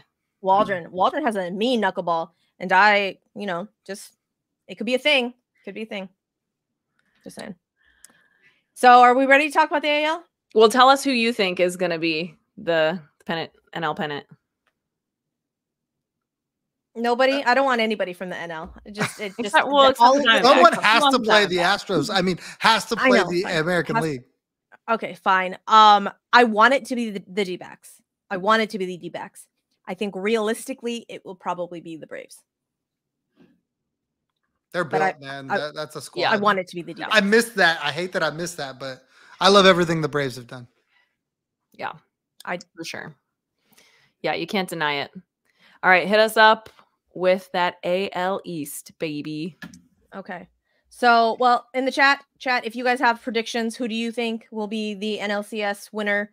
Will come out victorious? Put it put it in the in the comments. Uh and let us know. Holler at us. I was gonna say holler at your girls, but Tom is now here, so that no longer works. We'll So- remember. We'll give you a shout out if you're right. Six months from now. Yes, we will we will definitely go back and clip this for sure. For sure. Listen, I don't remember if I had breakfast this morning, okay? Like there's just no way. Um okay. So, in the American League, we're going to start in the American League East. I'm going to give you the rundown of team and record, okay? We're going to do this first. Yankees 88 and 74, Rays 86 and 76. Orioles 85 and 77. Blue Jays, my screen went out, so I no longer know what the record is. 84 and 78. Red Sox 81 and 81. Like they pull out an, a 500 season. No. What is what stands out in this AL East to y'all? Like I need I need to know what stands out to you guys before I voice my opinion because there's something glaring here that I'm all is it just me? Do we all need new beer? Because I feel like we're all gonna Cool. drink. We Yeah. all do Yeah, need new beer, but we all can't we all can't like leave at the same time. Okay, So I'll go first. okay, you go I'll first. tell you what I think. Okay. Uh, my, the number one most glaringly obvious thing is that the Orioles are definitely winning at least 90 games. Okay. Um, They're- do they do they end up third in the in the AL? no, Okay. no, I think they win the AL East. And I, honestly, like, I don't know. I've heard everybody saying, like, oh, the Yankees are underrated. I think they're overrated, but maybe that's, I don't know. Maybe that's just me being an emotional fan. I think the Orioles win 88 games, absolute minimum. And that's if, like, some, they have really bad luck. And I think my overall prediction is that there's no way that the standings are that close. Like that's what Okay. 81 and 88. That was mm-hmm. the Yeah. seven game Yes. difference. Not a chance. The Red Sox are going to be way lower, and Okay. the Orioles are going to be way higher. Okay. Okay. I like it. Tom, I like it. Tom? So I grabbed two beers for the American League because I feel like we're going to need them. I believe that Kelsey is 100% right. When we talked about the Rockies, we were basically talking about the Boston Red Sox in the AL. They're going to be a 64 win team, something like that. Fired, Tom. They, they they are not good. This this division is top heavy. The Baltimore Orioles are a 90 win baseball team. yes, They're my dark horse to win the American League. It's not even a question. The talent is amazing. They have so many resources to go get more talent. Like at the Yep. trade deadline, who's going to stop Baltimore from getting whatever the hell they want? Mhm. They're going to be like, "Oh, you want prospects? We got fucking prospects. Oh, you you you need somewhere to send a contract? We can do that too. We're not paying anybody." The Baltimore Orioles frighten the flip out of me and and I don't know how they don't win 92 games, 93 games. Mm. The Yankees, they're they're got all this stuff stressing them out whether it's uh pitching problems because some of them are good, some of them are bad, Rodon, or you know, Cole who's injured, then we've got uh Soto, everybody's like, "Oh, he's going to hit 50 homers." And I don't think he's going to be that good. I don't know No. why it is. I just I don't and I mean, Tampa always is there. They figure it out. Uh, I, I feel like the Blue Jays will win a series here. There, I don't know, uh, but I feel like it's Baltimore and everybody else. Yep. Okay. Well, so then let's let's go let's go team by team and we'll and we will flesh it out. Um that was not the right terminology. Sorry guys. Um so the Yankees, the 88 apparently according to Fangraphs 88 win Yankees did did some moves, did some moves this this season. So the offseason was won by the Yankees, maybe, I don't know. They got Juan Soto from the Padres. Mhm. They also got Alex Verdugo from the Boston Red Sox. They got Trent Grisham, that's apparently going to play in this in center field sometimes. I don't know. Um Carlos Rodon is going to maybe have a bounce back season. They signed Marcus Stroman. I don't I don't know what you guys are thinking playing Aaron Judge in center field all day every day. Like the fact that that this is what Yankee fans want blows my mind. Just It's because it's what Judge wants. I really think that's it. They hear him saying like that's what he wants. So, and he is their golden boy of the whole world. Like he is the Taylor Swift Yeah. of Yankees fans. He can do no but then. I would again I I want to bubble wrap him. Like I don't even like the fucking Yankees and I want to bubble wrap Aaron Judge, okay? So there's no there's no fucking way that you're going to sit here and tell me that Aaron Judge that already has some sort of like stomach oblique issue. It's not even the oblique, swing whatever other muscles are in there. Okay. Like you cannot sit there and tell me that ailing toe, some sort of stomach malady, Aaron Judge is going to play center field for the New York Yankees every fucking day. Just it's not gonna fucking happen, people. It's not gonna fucking happen. All right. Apparently, Stanton hit 43 home runs in this in this spring training game that happened tonight. I I'm I'm kidding when I say 43. I want to say he hit like four. Or at Really? least three. Yes.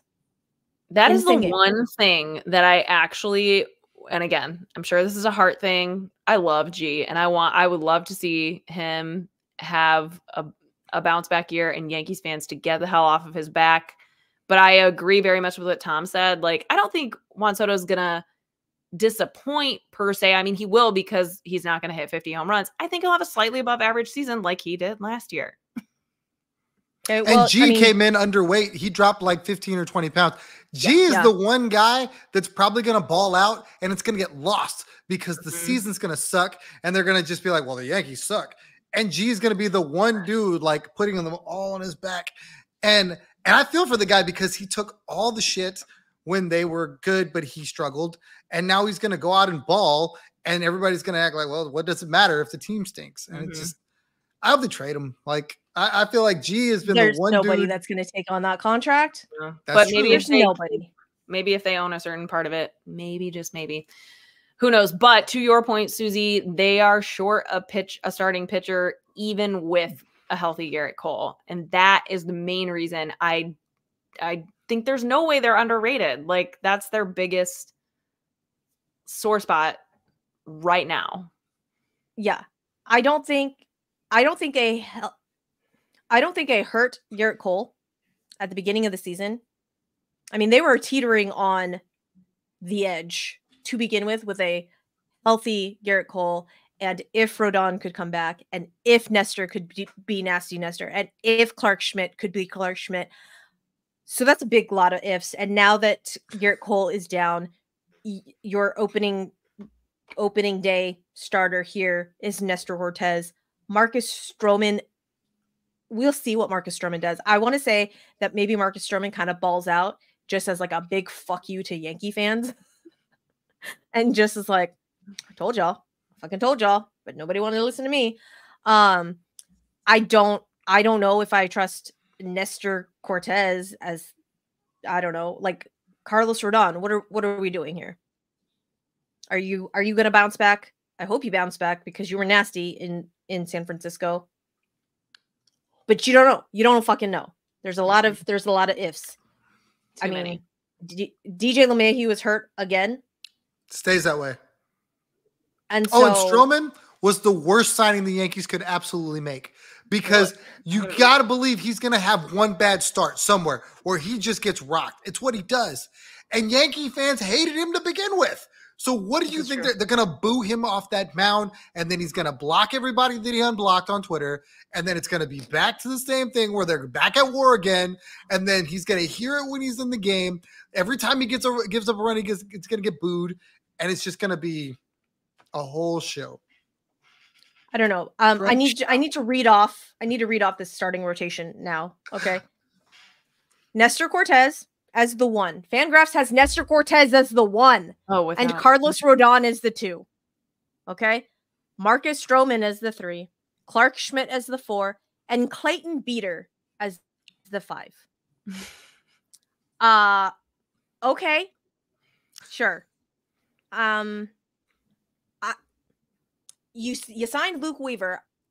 I don't know what we're I don't know what you thought you were going to do with Luke Weaver. I don't know if you thought you could fix him. I hope you could fix him cuz he has some nasty stuff. But everywhere that he's gone last season, I think he played for like four teams last season. He started with the Reds and then like went to the Mariners and then ended up with the Yankees. I want to say there was a stop somewhere else in between, but off the top of my head, that's where he was. But like, it's not. Maybe they can fix him. I don't know, but not as a starter. He he got lit up Uh, no, so hard no. as a starter. cannot be a starter. Cannot be a starter. He needs. He needs. He needs to be a reliever. He's. But they. I mean, J- Jasson Dominguez, I guess, is going to come back sooner than they had expected. So that will be a a hopefully a big boon to them. Where does he play then? Does he D- Center Um, baby. Field. Like You- he is their center fielder. If if he's healthy enough to be able to play out there. I mean, he will probably come back and my guess is he hits first before like he'll he'll be cleared to hit.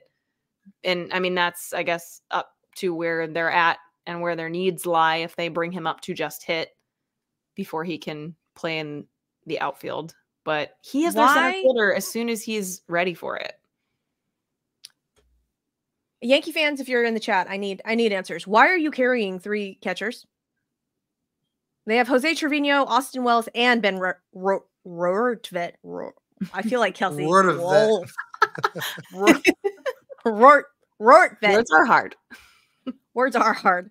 While you guys talk about that, if there if there's a chat, if you guys can answer that, I'm gonna go get more drinks so that words like Rortvedt are gonna be easier for me. So talk talk amongst yourselves and see if we can find out why there's three catchers.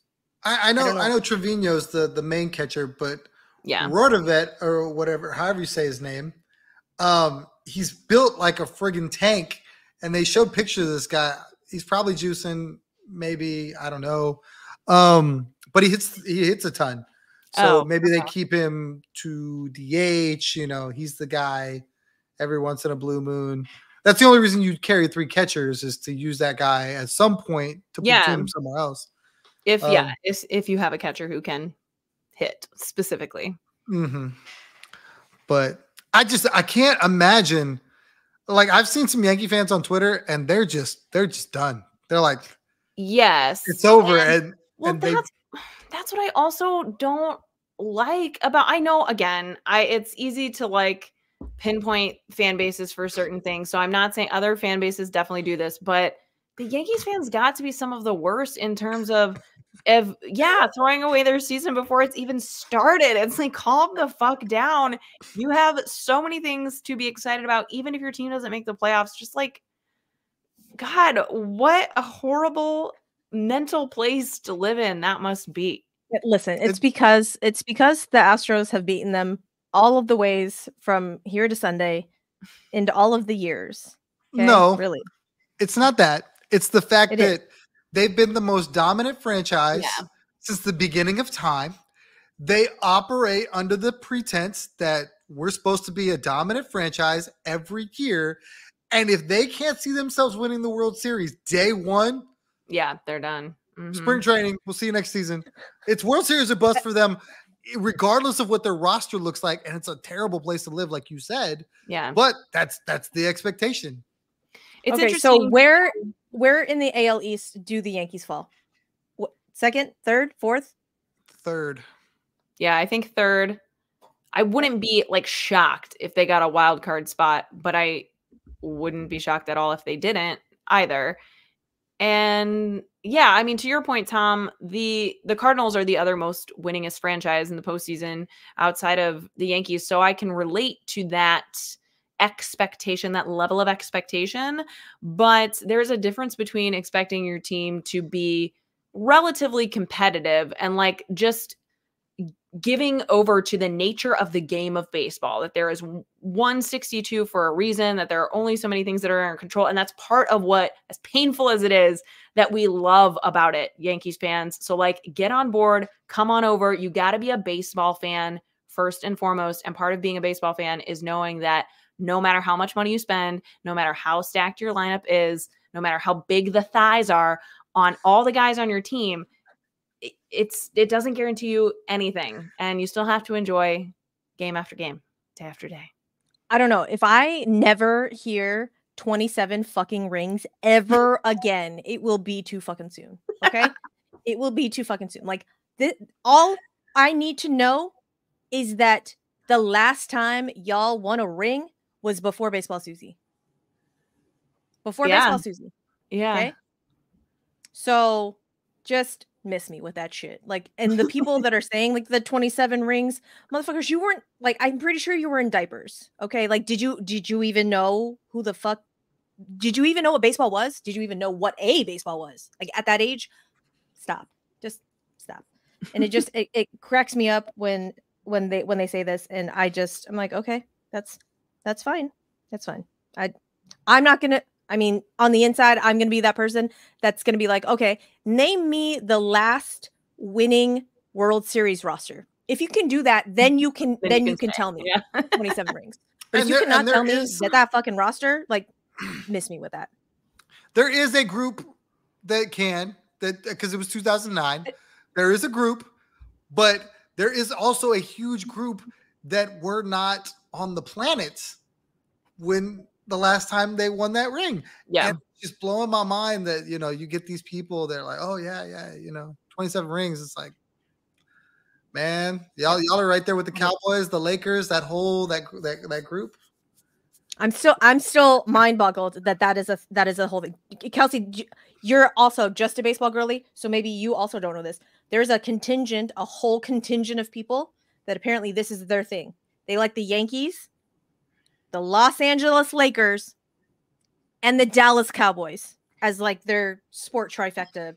Just because Exactly. they win the most. That's so lame. And also, like, the Cowboys don't win anymore either. So move along. And they'll tell you about all their rings too. My dad is a Dallas Cowboys fan because he was born in Dallas. He has actually has like a reason. But that honestly, that's the other thing that like drives me nuts is people who who change their allegiance or pick their allegiance exclusively because they want to root for a winning team. Like I get it if you're a Rockies fan or an A's fan and you have serious issues with the way that the organization is run and you don't want to support the owners 100% but that's different than you know just there are so many people that are yankees fans because it's like a cool pop culture thing to do so i know there are plenty of yankees So- fans that aren't like that god i'm gonna lose so many followers because i have a lot of Yeah. yankees We are followers Yankee i know you're not all like that guys punching air right now. I only have a couple of them, it's so I'm not- not I'm not hurting. it's not the Yankee fans that are that I interact with like on a daily that I actually Exactly. know. exactly It's so i'm not not those talking about you yeah Yeah. It's the other it's the other people. Like and I'm not and I, I realize that I sound facetious because it's the tone, but I promise people I'm like I'm not. Like I actually there are at least 5 Yankee fans. That's that's a lot of Yankee fans people that I actually consider friends. Like I could name them and be like, "Oh, yeah, no, they're they're not bad. It's just like the rest of you." It's mostly Um, like but- I see them retweeting and calling other Yeah. Yankees fans out on that I'm like, these people, these are the people in your fan base. Yeah. Yikes. So, uh, but we just spent like 43 minutes talking about the Yankees, Yeah, and uh, we're gonna move on. So we're gonna talk about the Baltimore Orioles because this is a young, fun team. Like I, I love them. Uh, one because they are orange, and that was really how I was going to pick who I started to root for as a baseball team. Like when I started liking baseball, so it just kind of like, like, was great. It was just great that that, like the Astros pretty. ended up being I like them. orange. Legitimately. So it was either the Baltimore Orioles or the New York Mets because it wasn't going to be the Giants. It was going to be either one of those two. But it just so happened that the Astros were orange. And I was like, okay, well, it works. So, but regardless, the Baltimore Orioles are fucking fun as shit. And like, you cannot Yes. sit there and tell me that watching the Baltimore Orioles is not a fun experience. I need to go to Camden Yards and sit in the fucking bird bath area. Like, Yes. how what what kind of marketing team do y'all have down there that that you're like you know what? This is what we're going to do. We uh the the players are going to spit the water onto the onto the field. Um so now we are just going to have someone in swim trunks. That is going to be their job. As, as soon as anybody hits a extra base hit everybody gets soaked. Genius. I fucking love it. I realize that has nothing to do with the actual team but it's really fun okay? If you've not watched a game Yes. just you should do it. Vibes, I'm also-. You yeah. I'm also super obsessed with Camden Yards um uh batting batting eye. Why why are words so hard for me tonight? Is it because I've had the alcohols? I think Might it is. be. Batters batter's eye. There we go. The batter's eye in in Camden. The Astros play phenomenal, phenomenally well there. And I'm just saying that maybe, just maybe, uh, if we at Minute Maid changed it to look more like Camden Yards, maybe, maybe we could win a fucking home game. Just I'm gonna just put that out there. Okay. Anyhow, back to the Orioles. So I need you guys to know how many young guys they have in their system that are so good that they could probably be starters on the majority of teams right now. Right now. Jackson Holliday is the name that you guys know, but is not the name that has been tearing the cover off the fucking ball in spring break, in spring break, in spring training. God. Guys, I promise Spring break. not all the episodes are like this. Yeah exactly. Um, Jackson Holliday has played his way onto the major league roster. Uh, however, the name that you guys need to need to really worry about is Colton Kelsey. Yeah, yeah. Mm-hmm. Colton Cowser has been tearing the fucking cover off of the ball, and they ju- they still they still have more guys that are like, I'm here, I'm here too. Can I can I play? No, you cannot. We don't have any space for you because we are we have Anthony Santander in right. We have Cedric Mullins in center field. Uh, in left field, they have Austin Hays. Okay. So Jackson Holliday apparently is going to be their second base. Gunnar Henderson is just phenomenal. I kind of I hate like Gunnar Henderson because it just it I really didn't want him to be rookie of the year, but he earned it. Whatever. Uh, you know, catcher catcher of the of the century, Adley Rutschman. Is that record still hold for them? Yeah. That the whole like since Never Adley been has come up, they've they've never been swept. Yeah. That's dumb. Well, yeah. That's so dumb. Yeah. Mhm. That is absolutely That's ridiculous. cool. So they have uh, James McCann as the backup catcher, Ramon Urias as uh, second infield, and then Jorge Mateo against right-handers, Ryan O'Hearn at first base for left uh, for lefty bats, and then like I said, Colton Cowser has been there, um, has played his way onto the major league roster. We think, we hope, anyways. Oh, yeah. Um, then they got Corbin Burnes. And then we got some news that Kyle Bradish went down. Apparently, feeling good though, feeling good. I really, really, really hope that he can come back because I need I need to see the Orioles with a really good pitching rotation. And I need the people who don't know about the Orioles to not sleep on the name Grayson Rodriguez. Okay. Mm. He came up last season, kind of sucked. He went back down, figured out his fastball, came back up, and then was like, lights out. He's young. Um, Dean Kremer is there as well. Tyler Wells and Cole Irvin. Cole Irvin apparently looks really good this spring. Um, I think he's one of the ones that went to tread and figured some stuff out. So that so that whole starting rotation, I think, is is kind of scary. Not gonna lie. Uh, my only worry, my only worry for this team is their closer.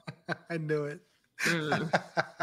I I do not trust Craig Kimbrel as far as I can fucking throw him. Oh, he's feeling good though. He is. He's Um, feeling okay. froggy. W- I do want to mention have you seen Dean Kremer's hair recently? It is amazing. It is so beautiful. And it is the only time I've ever seen a man with his hair is like as long as mine almost. And it's the only time I've ever seen a man with like legitimately long hair. And I've been like, do not cut that. Don't you dare. It is so, so pretty. I, I had no idea that he was even on my list of like best flows in baseball, but uh, he's number one right now. Interesting. top of my that whole I'm gonna have team's to- got I'm locks, gonna have to right? look. Gunner. I mean, yeah. maybe he was inspired by his teammates yeah to just really let it loose and go for it but uh, listen i would love to see craig kimbrel return to the kimbrel of of yore i wonder if he's still using sweet child of mine as his song i think maybe if not he needs to bring it back because that was really when he was you know the potential hall of famer craig kimbrel that we know and love Okay, well, I that's my answer again that, that was before baseball Susie. That was before baseball Susie. Craig Kimbrel was When a Craig monster was at one point. Yes, Yeah. yes. But I mean, the this team is so deep. Like when that's the stuff you're talking about, they're gonna score a billion runs. yeah They they they they tear the cover off matter a lot less And it's like last year, the knock on them was their was their rotation. I think Corbin Burnes helps that. I think their bullpen is still going to be really, really good. Uh Yennier Cano still there. I mean, I I think they've got enough to to deal with Kimbrel or or or whatever the case may be. You Yeah. look at this team as a whole, and you just feel like they're the team that's doing this number. And now they've got new ownership that's talking about spending money, let and them it's spend like, some money.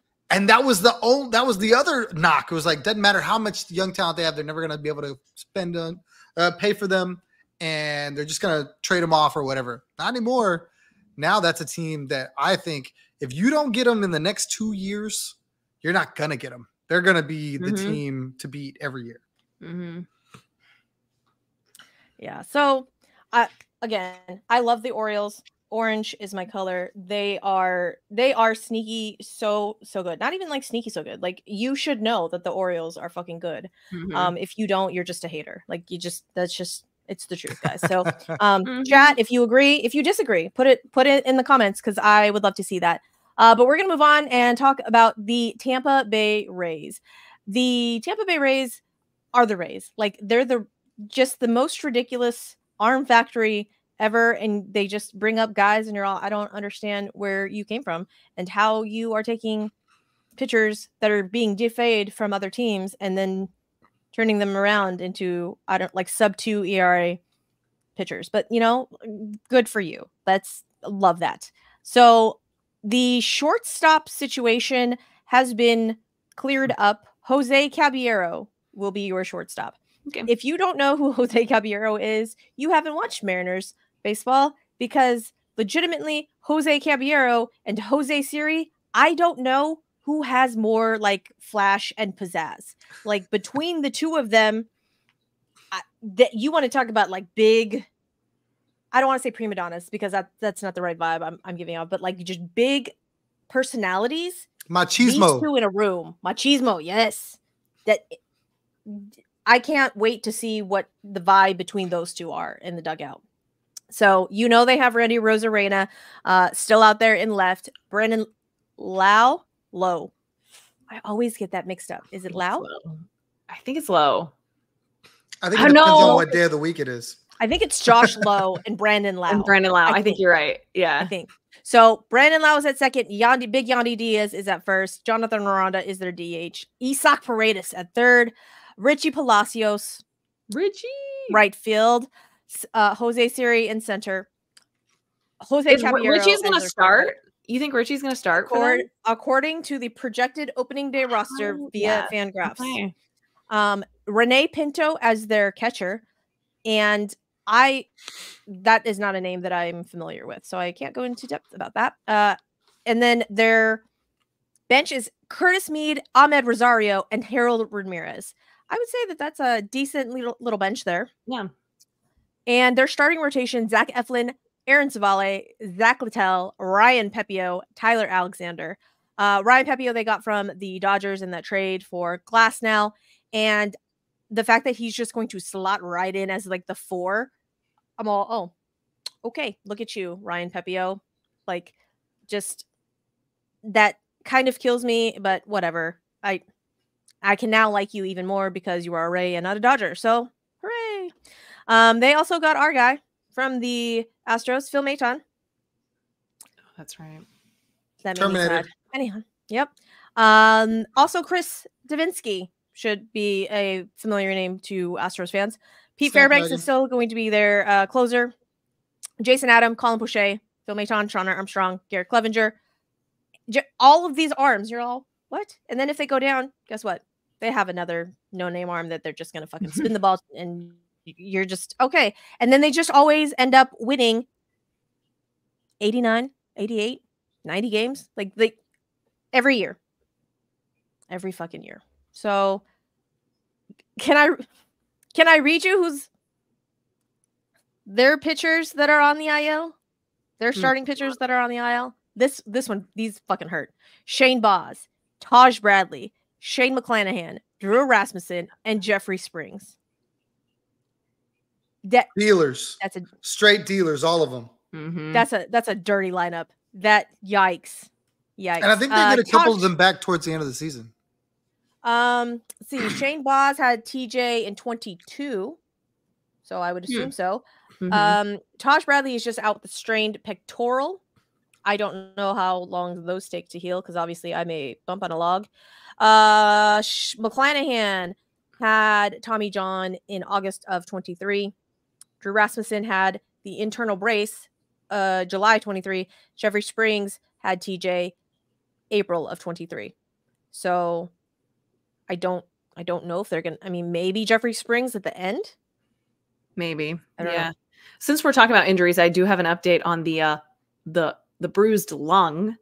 Mm, My brother Yes, says please. that it is blunt force trauma is how it happens and it is I was like, so like, how did that happen to a baseball player? And he says it's probably most likely that he got hit, like something like being hit in the hit with a baseball in the chest. Oof, So Okay. I'm back her. Wow. Yeah. All right. That. Uh, yeah. and yeah. then the, the best part was my parents trying to tell me because I texted the family text instead of just texting my brother directly. Big mistake. My parents trying to tell me like what it was when when they had no idea. That's that's amazing, and I love that so much. But anyway, we got some yes, some straight medical advice there. Um, so there was a couple of triple A people that are probably going to make the roster at some point this season. We just don't know when. So just be on the lookout for um, Junior Caminero and Os- Osleivis Basabe. That was very hard. and so just know just know those names. Be familiar with those names when they come up at some point in time uh, in the season because I think they will probably be be there. If Jose Caballero doesn't work out, Basabe will probably come up as shortstop. Um, Junior Caminero plays third. I want to say he plays shortstop as well. So, well, we shall see what happens with the Rays. Um, Toronto Blue Jays. Toronto Blue Jays. Kev- have we heard anything about Kevin Gausman? Do we know what's happening with so, Kevin Gausman? no. Chat, do you guys know? I'll Google That's for any that makes me sad. Um, No. so they signed IKF. They re-signed Kevin Kiermaier. They, I don't know why. Maybe because Kevin Kiermaier is the hottest baseball player player alive. I think that's what they took into account. um, and that's why they re-signed him, gave him a ten million dollar contract to play center field when Dalton Varsho is, you know, a better um, center fielder. But that's okay. That is okay. So, um, th- they signed Justin Turner. I think they signed Justin Turner for the vibes. Quite Right? possibly. I think so. Jose Berrios is their opening day pitcher because Kevin Gausman is out. Yes. Update: He threw a sim game today for 36 pitches, and it said it felt good. Hooray! Yeah, Love so it sounds that. like he'll Okay. miss opening day, but hopefully not much more than that. That's good. Huzzah, I love that. Um, Davis Schneider, Ernie Clement is their bench. Apparently, they're they're rocking Cavan Biggio at second. Hmm. Okay. Give him another shout Alejandro out Kirk. there. Will you have a bounce back year? Don't know. Don't know. If you're on audio only, I am doing some weird like shrugging motion. Okay, I'm like Would you rather- the shruggy emoji. Would you rather have? I feel like this is maybe a dumb question, but in a different time, this was a very valid question. Would you rather have Alejandro Kirk or Willson Contreras as your primary catcher? Are we talking about like this this day and age? Like right I now? guess so. Yeah, we have to, right? Right now, Willson Contreras. Probably the same. Because yeah, Now, I just asked If you had asked me in 2022, if you had asked me in 2022, I was going to take Alejandro Kirk. but that's no. the thing, and that's you really, yeah, things don't don't ever ever really go as planned. Uh, definitely not always, but yes, Cardinals fans were like crazed to trade for Alejandro Kirk, and especially those who were not thrilled with the Willson Contreras signing. But yeah, now everybody's singing Now. Now Willson Contreras can say nanny nanny boo boo. He can do the sing songy dance. Okay. Mhm, mhm. Um, see, this is this is Aaron Rodgers. Aaron Rodgers is my one of my favorite Yankee fans. Uh, Aaron, you missed the shit talk about the Yankees. Sorry, you missed it. You can shit talk me on Twitter afterwards. Um, but yeah, so I'm just I'm upset that you missed the shit talk, Aaron. Where were you? That's that's upsetting. Cool, love that. You'll go to the Mets. You'll go to the Mets lies, but you won't come to mine. I see how you are, Aaron. hmm Anyhow, so does I guess the big question for the chat too: Does Vladdy have a bounce back year, or does the curse of the cover get him? I've got another question. that goes along. You cannot answer line. the question with a question, Tom. That's them's the rules. Well, I'm sir. I'm I'm helping answer the question with a question. So I play Prize Picks. Prize Picks is a little bit of gambling thing. They have the over under. we don't need any gambling scandals. Say, is Uh, no scandals. for no, no, no sh- maybe he bet on it. I don't know. Maybe we'll find out. They have the over under on Vladdy for the season as 164 and a half hits. Do you think he gets more or less? I think he gets more than 164 and a half hits. Yeah, I think so too. I'd take the over. So, so for me, I think he does have a bounce back year. See, when I'm saying bounce back year, I apparently I'm thinking like 2019 Vladdy with like juiced balls. Are you only measuring in home runs, or, or what are we talking? No, but for some reason, when I, for some reason when I when I think Vladdy, I'm thinking power hitter, Mhm. right? Yeah. Like I need I need Vladdy to be hitting bombs, and that's So that then wasn't we're- him.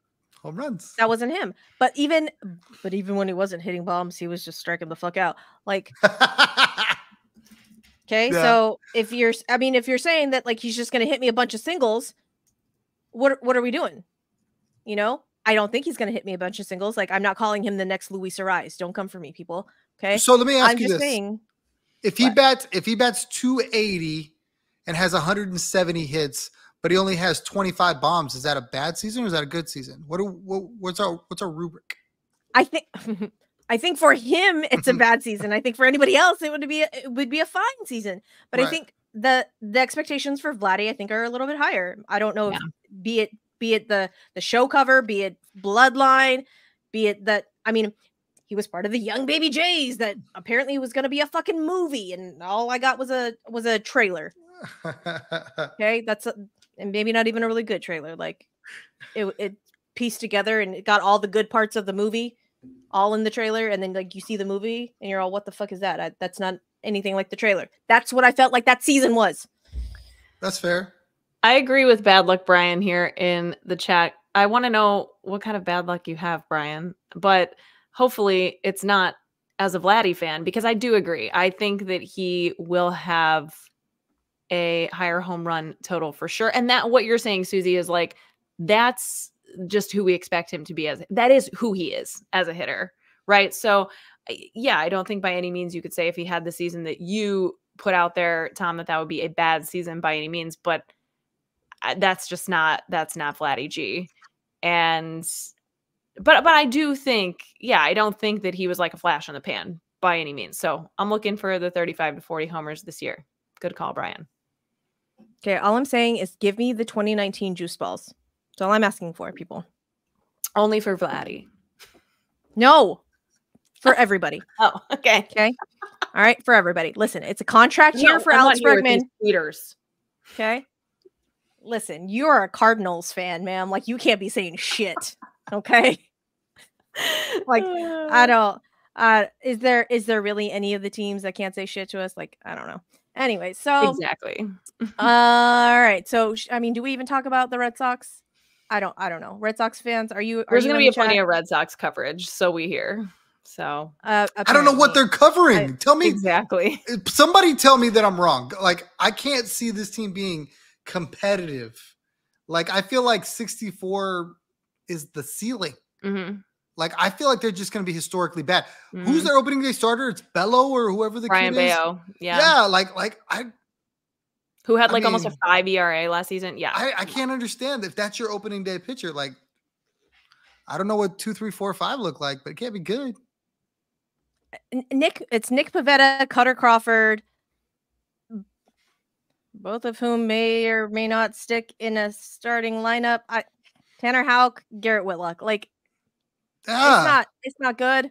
It's not good. where, people. where does baseball reference get or that's what we're using, right? Baseball reference is uh Fangraphs? Fangraphs. Where is Fangraphs reference, Fangraphs getting these wins from? Who are that that division is not an easy division at all. When you talk about the other teams we named, where who are they beating?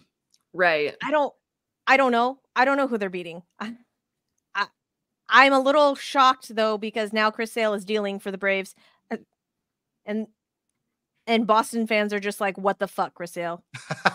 We we gave You you all the that. money. Yeah. Like we were here. We were destroyed a through- whole we were here clubhouse. through all of the bad times, and now now you're gonna be good for the fucking Braves. I they're they're down bad. I, I don't know. The I writing know. was on the wall with that Um, one. That's just well. the way it was going to go. He so wrote it. I, may, yeah, may, literally. maybe maybe Masataka Yoshida takes a step up. Maybe I don't know.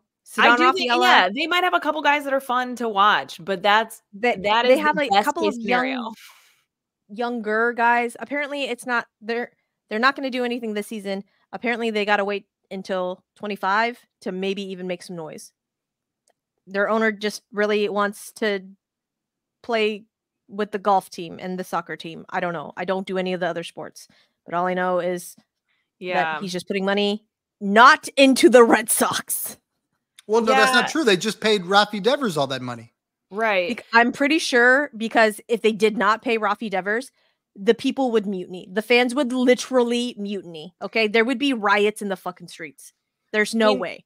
Not to get all all heady in the business sense here, but and and this is me. I'm laughing as I'm starting to say this because this is me assuming that people who have a shitload of money are like good business people, which is just not always true. But if there is any any like business 101 going on in with the Red Sox ownership, they're not looking at I think I've heard a lot of people saying like, well, they don't care because yeah, the soccer team and uh, the golf or whatever is making them money. That uh, you don't you don't look at the wins of one business to uh, to compensate for the losses of another. So I don't think that's the case, but it is very very confusing. I think they are the most misleading and confuddling, if that's a word. I don't- team I don't know what the right what now. the fuck this Netflix documentary is going to be about. Mm-mm. Like I, I feel like they're stuck between trying to tear it down to bare bones and starting over and staying relevant because they're the Boston fucking Red Sox. That's probably. and I a think really that's the, the the name on the jersey where they like we have to defend this Mhm. to an extent. And it's like so then they're making all these irrational moves and the product isn't going to reflect the money that they spent. It's just going to be a, really bad. yeah. So I, your 2024 Boston Red Sox people. I I don't know. And just so you guys know, we won't be spending this much time on the AL Central uh, because it's the it's the AL Central, guys. I'm I'm so sorry. So let's. Uh, I will tell you though who is going to win the AL Central, and that is the Minnesota Twins. Don't you know? Uh, with 84 wins. 84 wins. 84 78 takes the AL Central. The Guardians and the Tigers apparently tie 79 and 83. Uh, the Royals with a 76 and 86 record, and the White Sox with the 67 95 record. What stands out to you in the Central there, You go first. besides the ridiculous winning loss totals? I was about to say the White Sox are too high. You can't you can't win 67 games with an 083 Martin Maldonado batting as your catcher. Like Ap- apparently, he is tearing the cover off the ball, and he looks much slimmer going into White Sox camp, and he's hitting like 329. uh, it'll he'll be 083 in like like two games and he'll stay there. And he sent he sent fucking Korey Lee packing again. Korey Lee cannot Korey. fucking stay at, at catcher. Uh, that was not. We'll we'll get to the White Sox, but that was not what I was going to point out here. What I was going to point out here was the fact that the Royals were so fucking low. yeah, Like I all agree. the moves the Royals made, and they don't they don't at least hit 500. Like Yeah, I- actual like rotation now. I agree with Tom that I think the White Sox will very likely be the worst team in baseball this year. Over 100 losses, on, easy. So you're so you're they're taking that mantle from the A's. Yes, I think Ooh, okay. they will be worse than the A's. Uh, I think the A's have some younger guys that at least have more to play for. But I will drink to that. yeah, I don't also think the. Royals will be better than 76 wins. But I also think the Tigers could Tigers win the noise. division. So I do think I do think the the Twins, the Tigers, and the Royals will be closer than projected.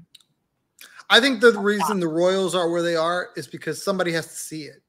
They just have to see it. Like Mhm. that's a team where on paper you kind of look at them like, okay, they got some nice pieces. I like them, but I have to see it. And until they until they actually win the games, you know, they're just kind of gonna be in the middle somewhere. I do love your Tigers take. I think that uh, AJ Hinch will get those guys right over Mhm. time. I think they probably need one more season, and um, it's the AL Central. I mean, it's Do you think So- this has the Fangraphs is predicting the Twins win the AL Central with 84 games and the Cardinals win the NL Central with 83.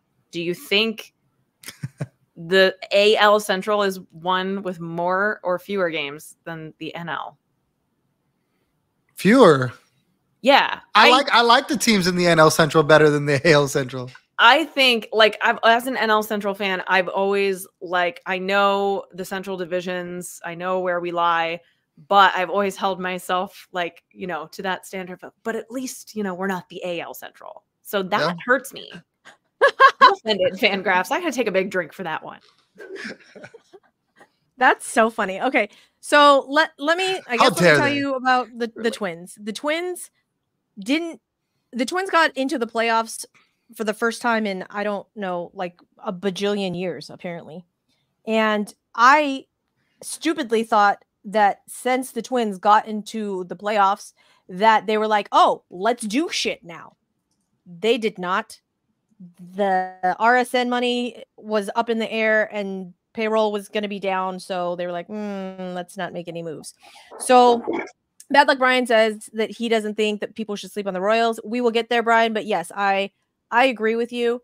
Um, I so the Twins I think are going to be I don't want to say sneaky good, but I think they're going to be better than than people think. Um, I think Carlos Correa will be better. Byron Buxton, I don't know if Byron Buxton, if they have a full healthy season of Byron Buxton, and I think we've been saying this for years in center field, like it, yeah, that's that's a that's fun and that's going to be good. Um, Kelsey's cat agrees with me. Edward Julian is their second baseman, and apparently he is amazing and tearing the cover off the ball. Royce Lewis, also another guy that you probably should keep in the back of your brain as the third baseman. Max Kepler is the hottest right field guy that you will ever see. Like Max Kepler, absolutely. Uh Carlos Santana is their first baseman. I didn't I totally forgot that they signed Carlos Santana as their first baseman. That's just that I that was not on my radar. I totally forgot about that. Matt Wallner is their left fielder. Ryan Jeffers as their catcher. And Ryan Jeffers just kind of took over. Like Christian Vázquez, they signed Christian Vázquez to a like a two-year contract, I want to say. Uh and he's now their backup. He's and he went to driveline or tread in the offseason, one of those, and like redid tried to redo his swing. Um congrats. They're expecting a new baby. So maybe he'll get some of that like dad mojo energy back. I don't know, but like Ryan Jeffers just kind of took over that catching job. And I think Christian Vázquez kind of is like, cool, that's that's fine. My knees hurt. You can be the starting catcher. I'm gonna just sit over here and collect a paycheck for a little bit, right? And then I'll go hit. Um their starting rotation though is kind of sneaky good. And it's not names that you know besides Pablo Lopez. Okay. Mhm. Unless you watch this team day in, day out, it's not names that you're going to recognize. Joe Ryan as their two. That's the guy that looks like the guy from Stranger Things. Uh, Bailey Ober. He's like ginormous. He's like six seven, six Oh, eight. yeah. Uh, Chris Paddack and Louie Varland. And there's Twins are out. Twins fans are out on Louie Varland. There is like a big contingent of I am hardcore Louie Varland fans, and there is a big contingent of oh my god, get Louie Varland the fuck off my team. So good to know it's not just the Astros that have the crazy fan bases. So their bullpen is one of is one of the scariest to me kind of bullpens because I'm all what like what are, what are we doing here? Uh but why? Jhoan Duran? I didn't realize Jhoan Duran is now on the IL. What? Huh. That was the main reason he he was the scariest bullpen guy with a strained oblique, and that happened. That just happened. Oi! Oh no! That's what happens when you throw That- hard. Mm-hmm. Caleb Thielbar with a strained hamstring. So their current bullpen as it lies is Griffin Jackson as their closer, Brock Stewart as their eighth inning guy, Jorge Alcala, Steven Okert, Justin Topa, Josh Staumont, Cody Thunderbunk, Thunder Burke. My eyes are going, guys, and Jay Jackson. Now, I need you guys to know if you are a fan of one team and that is your main team, but you know the relief pitchers for the other team, like you are in deep. Okay. I am not in deep with the Minnesota Twins. I cannot tell you the majority of these guys. Like I've heard of Griffin Jax, I've heard of Brock Stewart. Those are the only two guys that I've heard of. Um, besides Jhoan Duran, who now is hurt. So we don't know how long he's going to be out, but Jhoan Duran is nasty. So maybe, just maybe, if the Twins aren't doing anything, maybe they'll trade somebody. They're not going to trade you on Duran, but that's a that's a pipe dream of mine. So I I don't know. I cool Twins. You win the AL Central. Gardos, what what are we doing? Guardians, like we we just gave Jose Ramirez a contract that is that is like way below retail value and just not signing anyone else. No, So I, Cool. c- I can speak to that. So J Ram is a huge fan of Cleveland. Mhm. Like the city, the area, everything. He gave them a hometown discount because he didn't want to leave. Mhm. He was happy where he was. He did not care that he could make all the money elsewhere. And that was just a cool move on J Ram's part. The rest of it, I feel like, is they're just waiting for the kids to grow up. Because once Yeah. they do, then they'll be set. But okay. I do think Well- that Josh, well, Josh Naylor, we know is fun to watch. I do think Bo Naylor, who is his brother, how cool is it that they're both going to play on the same major league roster at the same time? Uh, I think Bo Naylor is going to be a more integral piece of that team this year. So I just am truly indebted to the Guardians organization forever and ever for bringing my catcher, Yainer Diaz, to the Astros. Thank you so much for liking Bo Naylor over Yainer Diaz because I will take Yainer all day, every day. That's not a slight on you, Bo. That's just that's how much I love Yainer Diaz. What why? Why is Myles Straw your center fielder? Guardian fans, I need I need I need to know these because they paid such a heavy price for him, they have to get their money's worth. they have to keep him. I think the Guardians outfield hit the least combined home runs of any major league outfield last season. Do you think that will be the same this upcoming season? Abs- absolutely. Do you know so true. why? Because in like, the "We're not even projected home buffers." runs, the projected home runs for Myles Straw, two. Two As an outfielder. Yeah. Tough. as an out. Okay. Center field. He's gonna catch all the balls with his mitts. Ah, he will he is going to run down everything Uh. everywhere in the outfield. Okay. You're that's what you're paying him for. You are paying for it, the wheels. Apparently, when his speed is gone, though, because I don't know what's happening out there. I I want to say that they have a center fielder coming up though that is that is supposed to be really good, and you're like, what? But what are? But we just paid Myles Straw, so we have to play him. But they have some Gold Glove defense in um ah Will Brennan. That's that's who I was talking about. Will Brennan, left-handed bat, drafted in the eighth round, and uh apparently has a 707 OPS. Is projected that's he's projected to have a 707 OPS if he ever apparently gets up. But apparently he is amazing. I feel so badly because Myles Straw is a gem, but like Myles Straw, what, sir? sir come on now. Sir. I just feel so badly. I feel so bad. But between him and like Steven Kwan, that is like the lightest hitting outfield ever. Who plays the right field? Ramon Laureano. I forgot that they got Ramon Laureano two seasons ago. Ay, ay, ay. Ramon Laureano can run into a few. you know who they could really use? Known power hitter. Mauricio, Mauricio Dubon. the fact that Mauricio Dubon is going to hit more more home runs than, Than their than fucking. Oh my god. Uh, talking about the Gardos, though, a true test of the Tampa Bay Rays superpowers with pitching is Civale because he pitched for the Gardos and he was just a guy. He was not very good.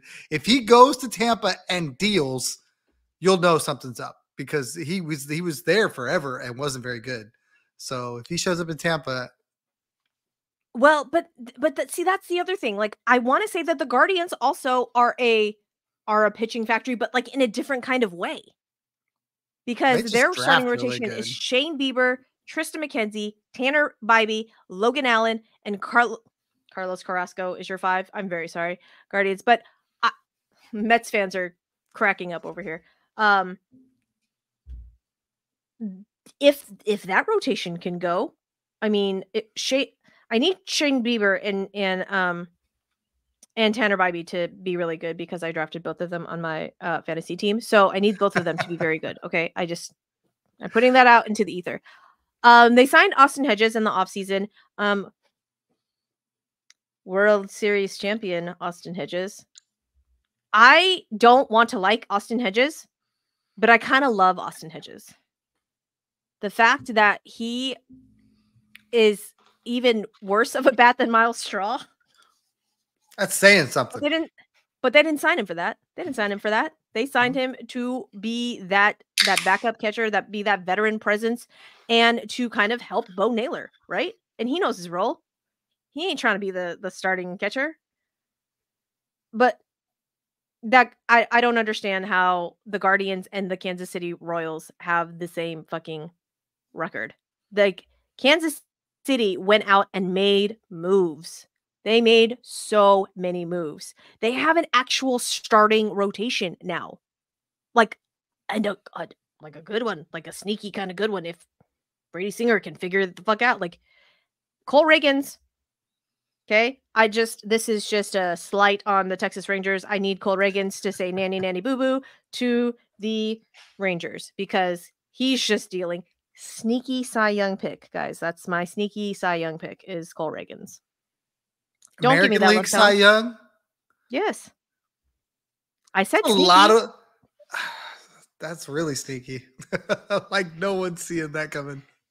Okay. I'm not saying that I'm putting money on this. I'm just saying Okay, that okay, like okay. I, s- All I like- see you, Susie. I don't disagree mm-hmm. at all. I no, I think the kid's So- good. I, I I agree with you. I think he's really good. I think the Rangers are gonna absolutely hate that trade. Like they may already, but Cy Young though, wow, saying saying. something. you you cannot tell me that that that rotation uh, of the Rangers right now that they would not covet Cole Ragans Oh, in that absolutely, rotation right now. absolutely. So now they have, but now they they went out and they signed Seth Lugo and Michael Wacha. So now they're like one, two, three are actual like real pitchers. Okay, as opposed to the the paper airplanes that they had out there last season. Uh, I think Michael Brady Wacha is also just like a sleeper pick for anyone's rotation, and I'm surprised that one of the bigger market teams didn't pick him up and be happy to pay him what the Royals paid him, if not more. No. Yeah. So if Brady Singer can figure it out, I mean, they still have Jordan Lyles as their five. That just cracks me up that Jordan Lyles is is their five. Is Zack Greinke going to just hang out in the bullpen somewhere, or just like walk around the stadium and just randomly give out hitting tips? I need to know these things. he can do whatever he wants. He's he's goaded, as the kids say. This this is true. Um, but I think the fact that Vinnie Pasquantino is gonna is going to be back, I think like lineup wise, I think I like this lineup over the Guardians lineup. I mean, your your center fielder is Kyle Isbel, your right fielder is Hunter Renfroe, your left fielder is MJ Melendez. Okay, so you got some you got some speed, you got some pop, not much pop, but more pop. I mean, Bobby Witt Jr. got that big extension. I think he's going to go off. You got Salvy Perez, who apparently is like 32, but has been in the league for 43 years. Uh, Nick Pratto is their DH. I, I don't know. I just I think they're going to be sneaky good, sneaky better at least. I think they're going to be better than the Guardians. Um, I don't know. What do y'all think? I feel like you're right. I just I Mm-hmm. think the reason the that uh Fangraphs has them where they are is they just have to see it. I think in that division, obviously, we talked about the the rotation for, you know, the Twins. We talked about the rotation for the Gardos. You know, those teams seem to have a tendency to figure it out. You know, and and just kind of compete with each other for that division. And I think they just figure that it's going to roll the same way it's done the last two or three years, where those two just kind of went back and forth, and somebody figured it out and got it done. Yeah, I think okay. it's because they are the Royals that like that's the best answer that I have for that.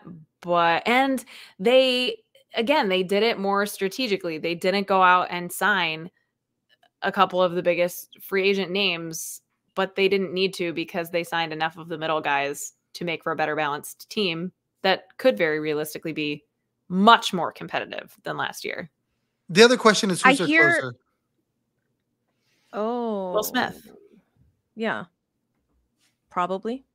Most likely. That's probably not good. Cole Ragans. Cole Ragans is going nine. Okay, Cole Ragans is going nine. Um, James McArthur apparently. It says James McArthur and oh, Will Smith. Yeah.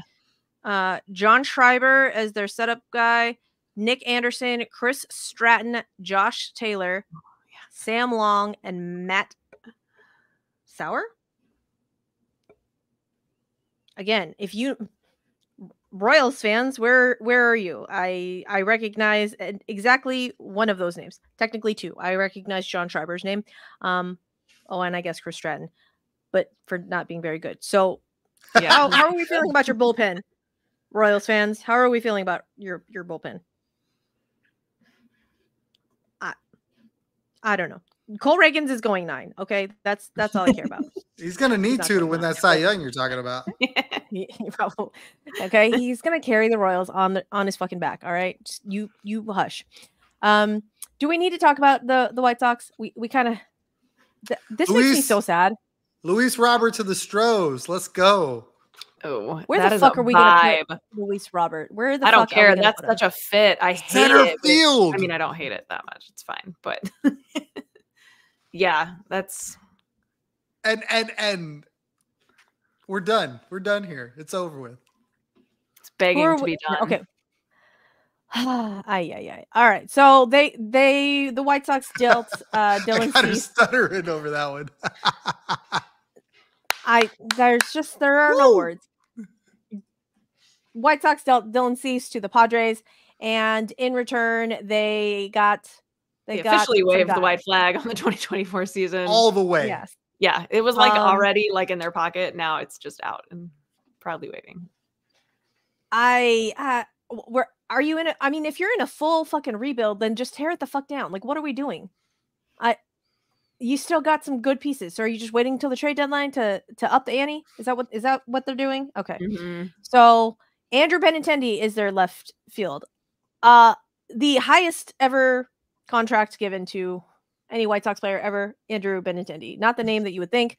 Um, Yoan Moncada at third, Luis Robert Jr. at center, Eloy Jimenez at DH, Andrew Vaughn as your first baseman, Paul De Paul DeJong, shortstop, uh, Dominic Fletcher, right fielder, Martin Maldonado, fucker, uh, catcher, and Nicky Lopez at second base. I feel badly for Nicky Lopez because he went from like the the Royals to then he got like a just the teeniest, tiniest taste of what goodness could be on the Braves.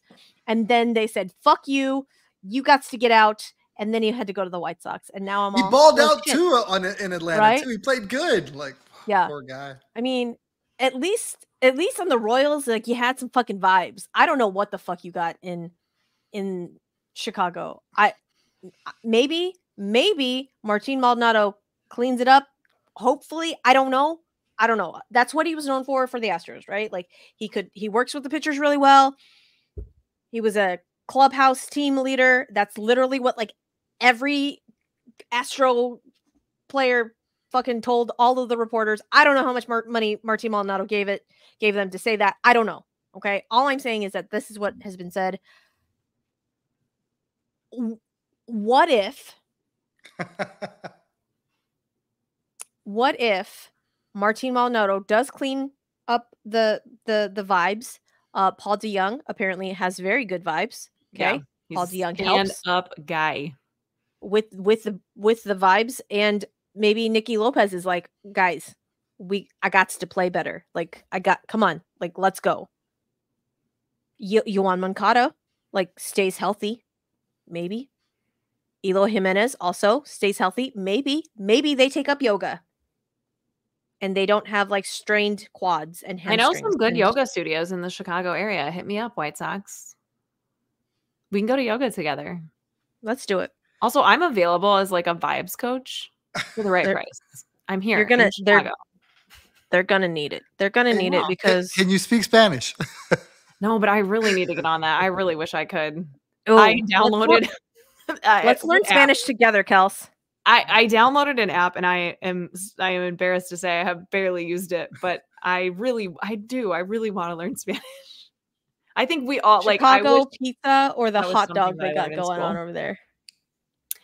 have you guys had Uh, deep dish pizza? I don't think I've had legit deep dish pizza. I've had like somebody's interpretation. I, I Sure. feel like I feel like until I have it in Chicago, I'm doing it wrong.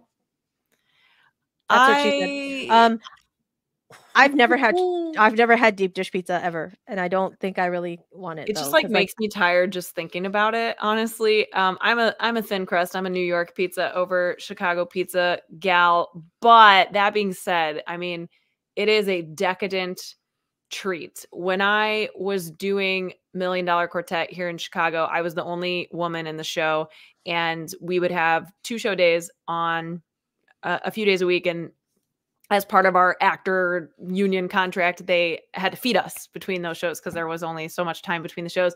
And the guys always fucking wanted to order Lou Malnati's deep dish. And I was like, we have another show to do, and I cannot fall asleep on this couch after I eat this one piece of deep dish, which is the most I could ever possibly fit in my body. So, yeah, I'm going to go with a Chicago dog.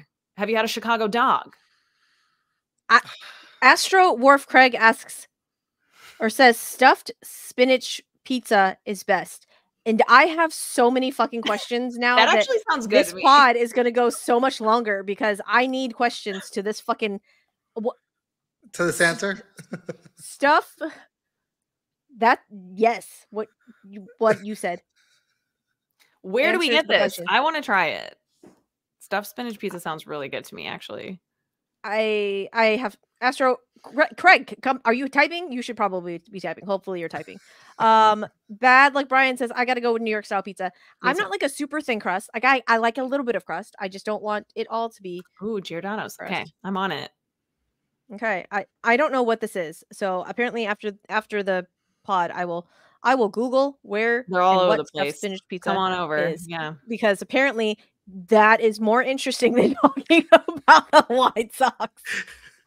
Oh, and with that, we're gonna we're gonna wrap up the AL Central because that is uh, it, That's all just there gone is off to the know. That is the most exciting thing about the White Sox this season is I will say the White Sox have better Chicago dogs at guaranteed rate than the Cubs do at Wrigleyville. I said it. What? Mic What drop. is a Chicago dog? What's a Chicago dog? There's I a, like can't an act- it's like understand an that. actual thing. Yeah, Yes, it's a- is. I'm not gonna remember everything that's on it, but there's like banana peppers, a whole pickle, um, tomatoes, mustard. Maybe there's the big thing is there's definitely no. There's basically everything but ketchup that you could ever want on it. Relish, Yeah. no ketchup. Ti- hol- hold on, y'all motherfuckers are out here putting tomatoes on Oh, your hot dogs. yeah. Yeah. Oh yeah. The fuck are we doing? The only we're probably Texas is probably the worst about like hot dogs. Everywhere else they dress them up with all kinds of all, all kinds of condiments. Well, I'm sorry. I would Okay. pick Tex-Mex any day over a hot dog. So I Uh, don't. It's okay, that. Texas. I don't need you to be good at Um, hot dogs. Yeah, yeah. We, we got crust we got barbecue and Tex-Mex. Come get Yeah, that. yeah. Thin crust pizza is like having a sample of pizza at a Sam's Club. Shots fired. Wow. Okay. I don't, they We haven't had had Blaze. Blaze crust. is so Followed- good. Yeah, Blaze Followed up with eat real pizza. That's I I love that I love that the end of the Chicago White Sox just devolved into a food. That's I love that. We're gonna we're gonna come back on track and we're gonna talk about the AL West. AL West, guys. So the AL West, this is this is how it's projected. The motherfucking Astros are going to take the AL West according to Fangraphs roster resource. That's not me, that's Fangraphs. 90 90 wins and 72 losses. I have so many words for Fangraphs. We're going to say them in a minute. The Mariners are the second spot. The Mariners uh, with 86 and 76. The World Series reigning champion motherfucking Rangers. Always fuck the Rangers, people. Always. 82 and 80. Angels 78 and 84. And the Athletics 73 and 89. Better than the socks Better than the socks Absolutely. Um words. I have so many words for for for this right now. We won 90 games last season with a hurt Jose Altuve that didn't play for like 4 months, a hurt Yordan Alvarez that was out, a the biggest of black holes of Martin fucking Maldonado. We had a roving DH out there of no name motherfuckers. And we They have names. eat. Stop that. They're Greg Kessinger and Jon Singleton Bly and Bligh Madris. Madrid? No. They have names. Say their names. people in the chat are like, who the fuck is Bligh Madris? Except for maybe Mets fans, because Bly Madrid is now on the Mets, apparently. But No one Say is going to know Bly names. Madrid. Come on now. Uh we eked, eked our way into 90 wins with a fucking carousel of outfielders. So you cannot tell me, you cannot convince me. There's not amount of money in the fucking world that is going to convince me that the subtraction of Martin Maldonado from this lineup, we're not going to just run into at least, at least two more runs, at least. Okay, but with like a full season of Altuve, a full season of a Yordan, not a fucking carousel, outfield carousel out there because apparently Jake Meyers has just been tapped as our fucking center fielder. Um okay, so you cannot convince me. Cannot convince me that we will not win more than 90 games. That's just that's all there is to it.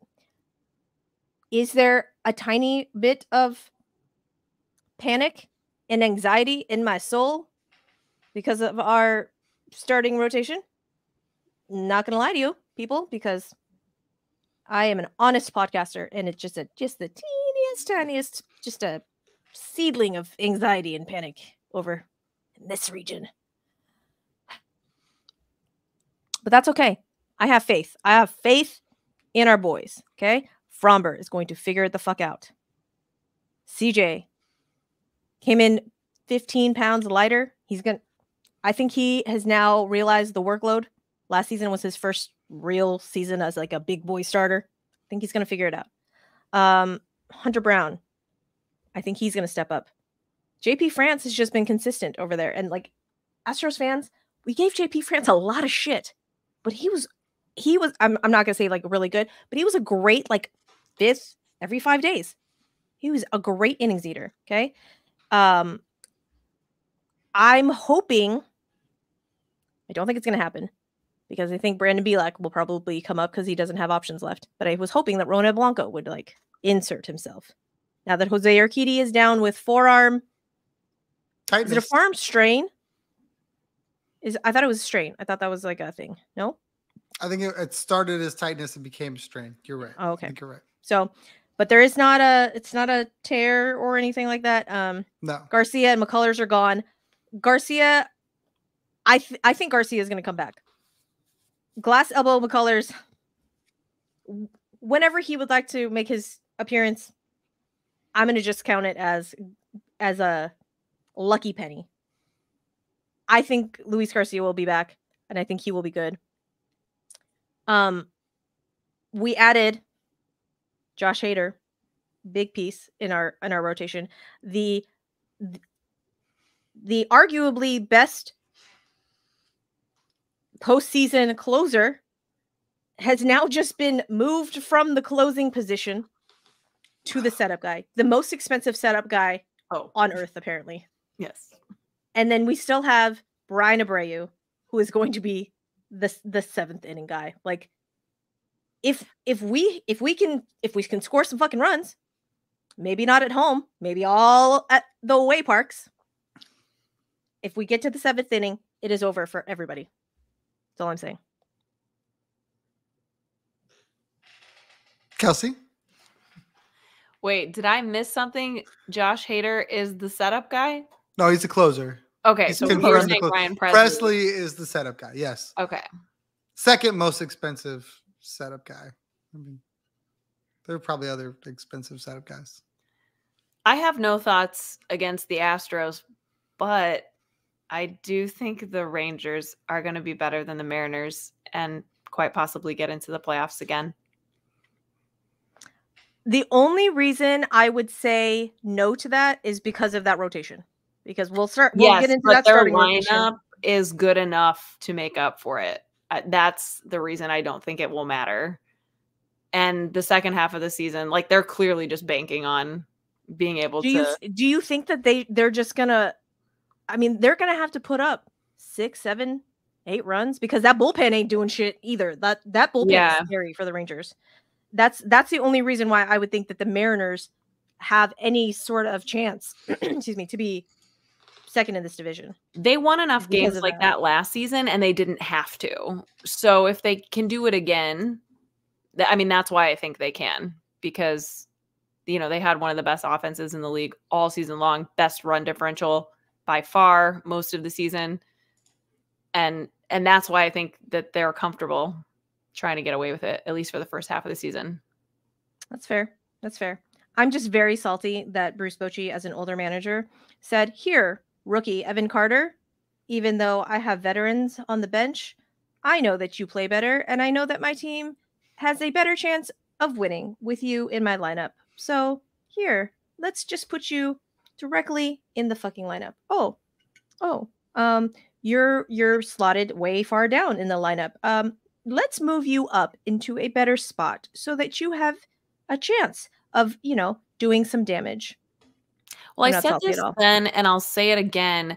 I think the biggest difference between the Rangers and the Astros in the postseason, specifically, I guess, in the way that they were managed, is when they were talking to Dusty Baker and Bruce Bochy pregame. I explicitly remember Dusty Baker saying, we know what we're doing day in and day out. It's gotten us this far, and we are going to go in and play this game exactly the same way that we have, you know, all season long, just like it's any other game. And Bruce Bochy, on the complete opposite end of things, not hearing what Dusty Baker had said, said, "This isn't like any other game. You know, we we got to this point to play this game here today, and we're gonna." take it pitch by pitch, inning by inning, and react accordingly. And we believe we have the pieces to do that. Like they just had complete different mental approaches from exactly what they said verbatim. And that ended up being the difference in maybe who won the World Series, honestly.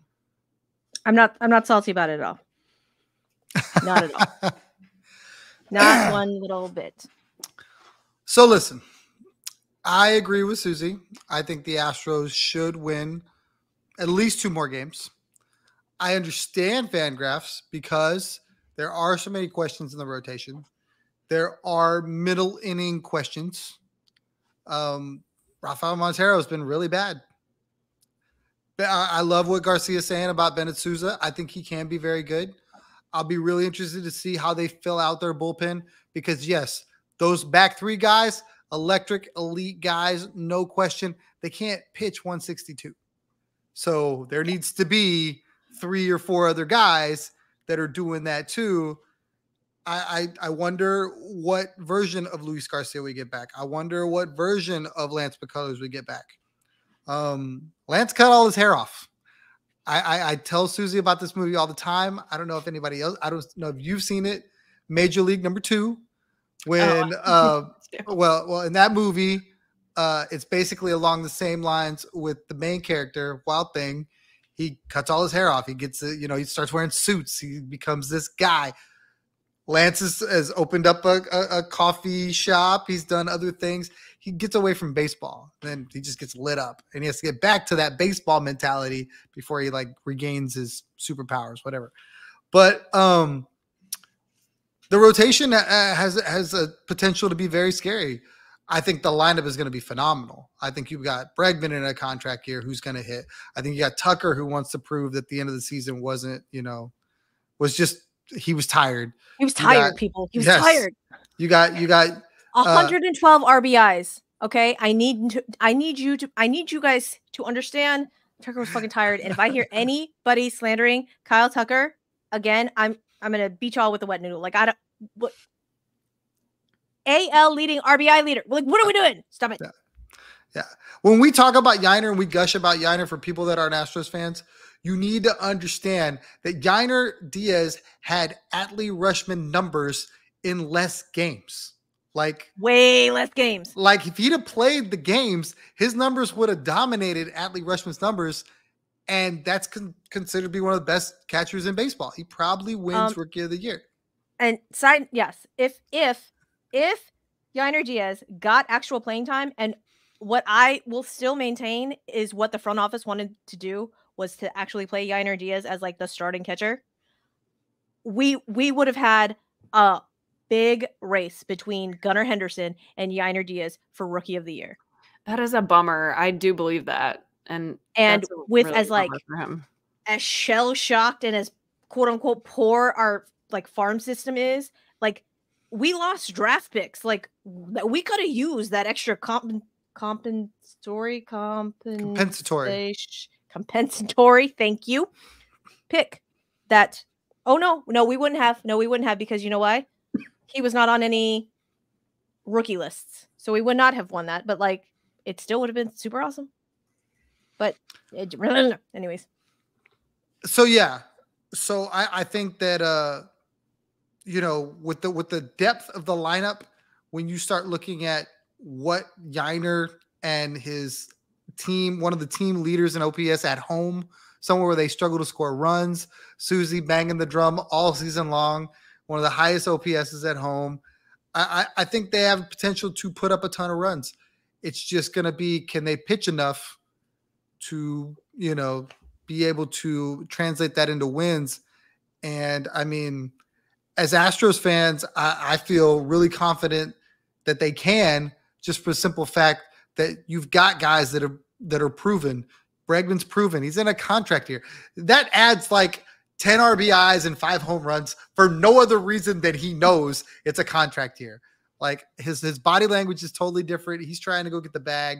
So when you have a guy like that who's batting behind Yordan Alvarez, I think now the potential lineup yeah is is Tuve, Yordan, Bregman, Tucker. I mean, I don't have to. I don't have to bet. I don't have to beat a dead horse. It's it's going to be fun offensively. It's just whether their rotation can do it, and I'm looking forward to it. Start start tomorrow. That sounds right, like exactly go. what I just said about the Rangers, though, right? No, no, no, no. You're 100 percent right.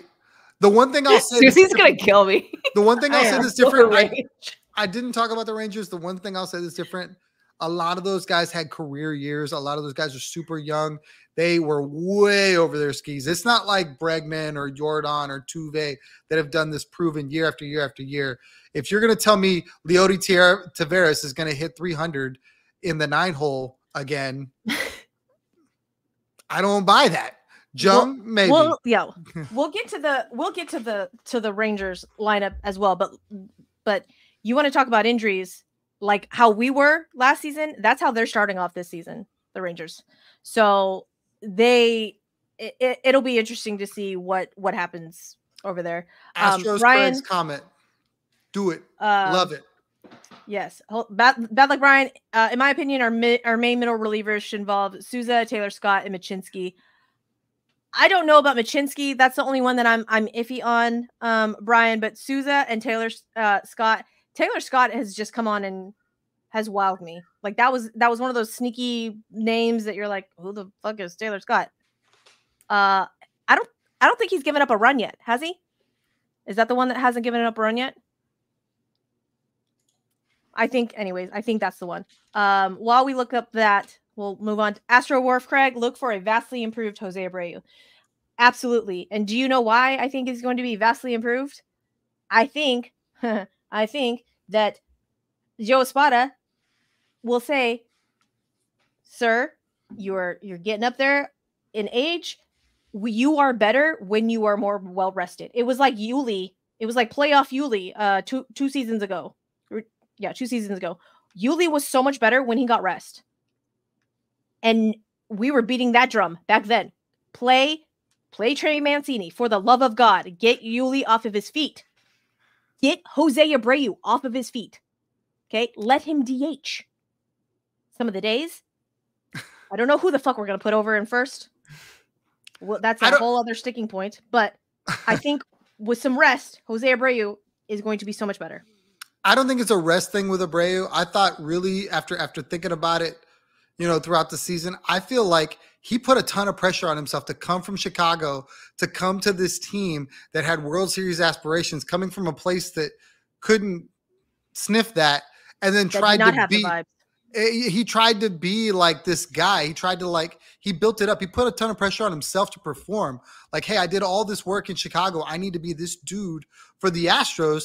And I think he struggled with that. That's why you saw eventually as the season wore on, he got comfortable. And then towards the end of the season, he was a vastly different player. So I think he mm-hmm. comes in this season without that pressure to perform, just go in there and be the guy that he was in Chicago.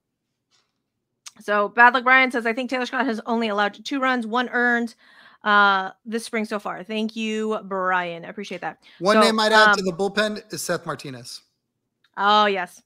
Absolutely. And and Seth Martinez, if you've watched any any sort of Astros ball over the the past season, you you recognize Seth Martinez. He's come in and he has been that kind of swing man that Cristian Javier was a couple seasons ago. He's he's done some spot starts. He's been our long guy. I think he also will will make the bullpen.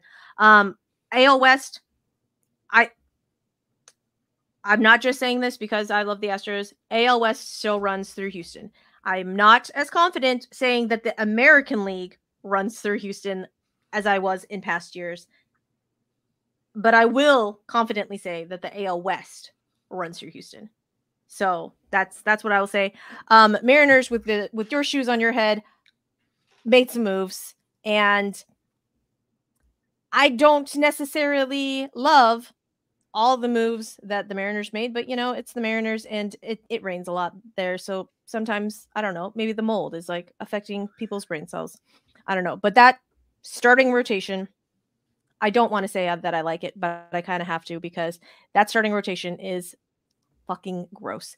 Luis Castillo, George Kirby, Logan Gilbert, Brian Bryce Miller, and Bryan Woo those two end guys are young. Last season was their first season.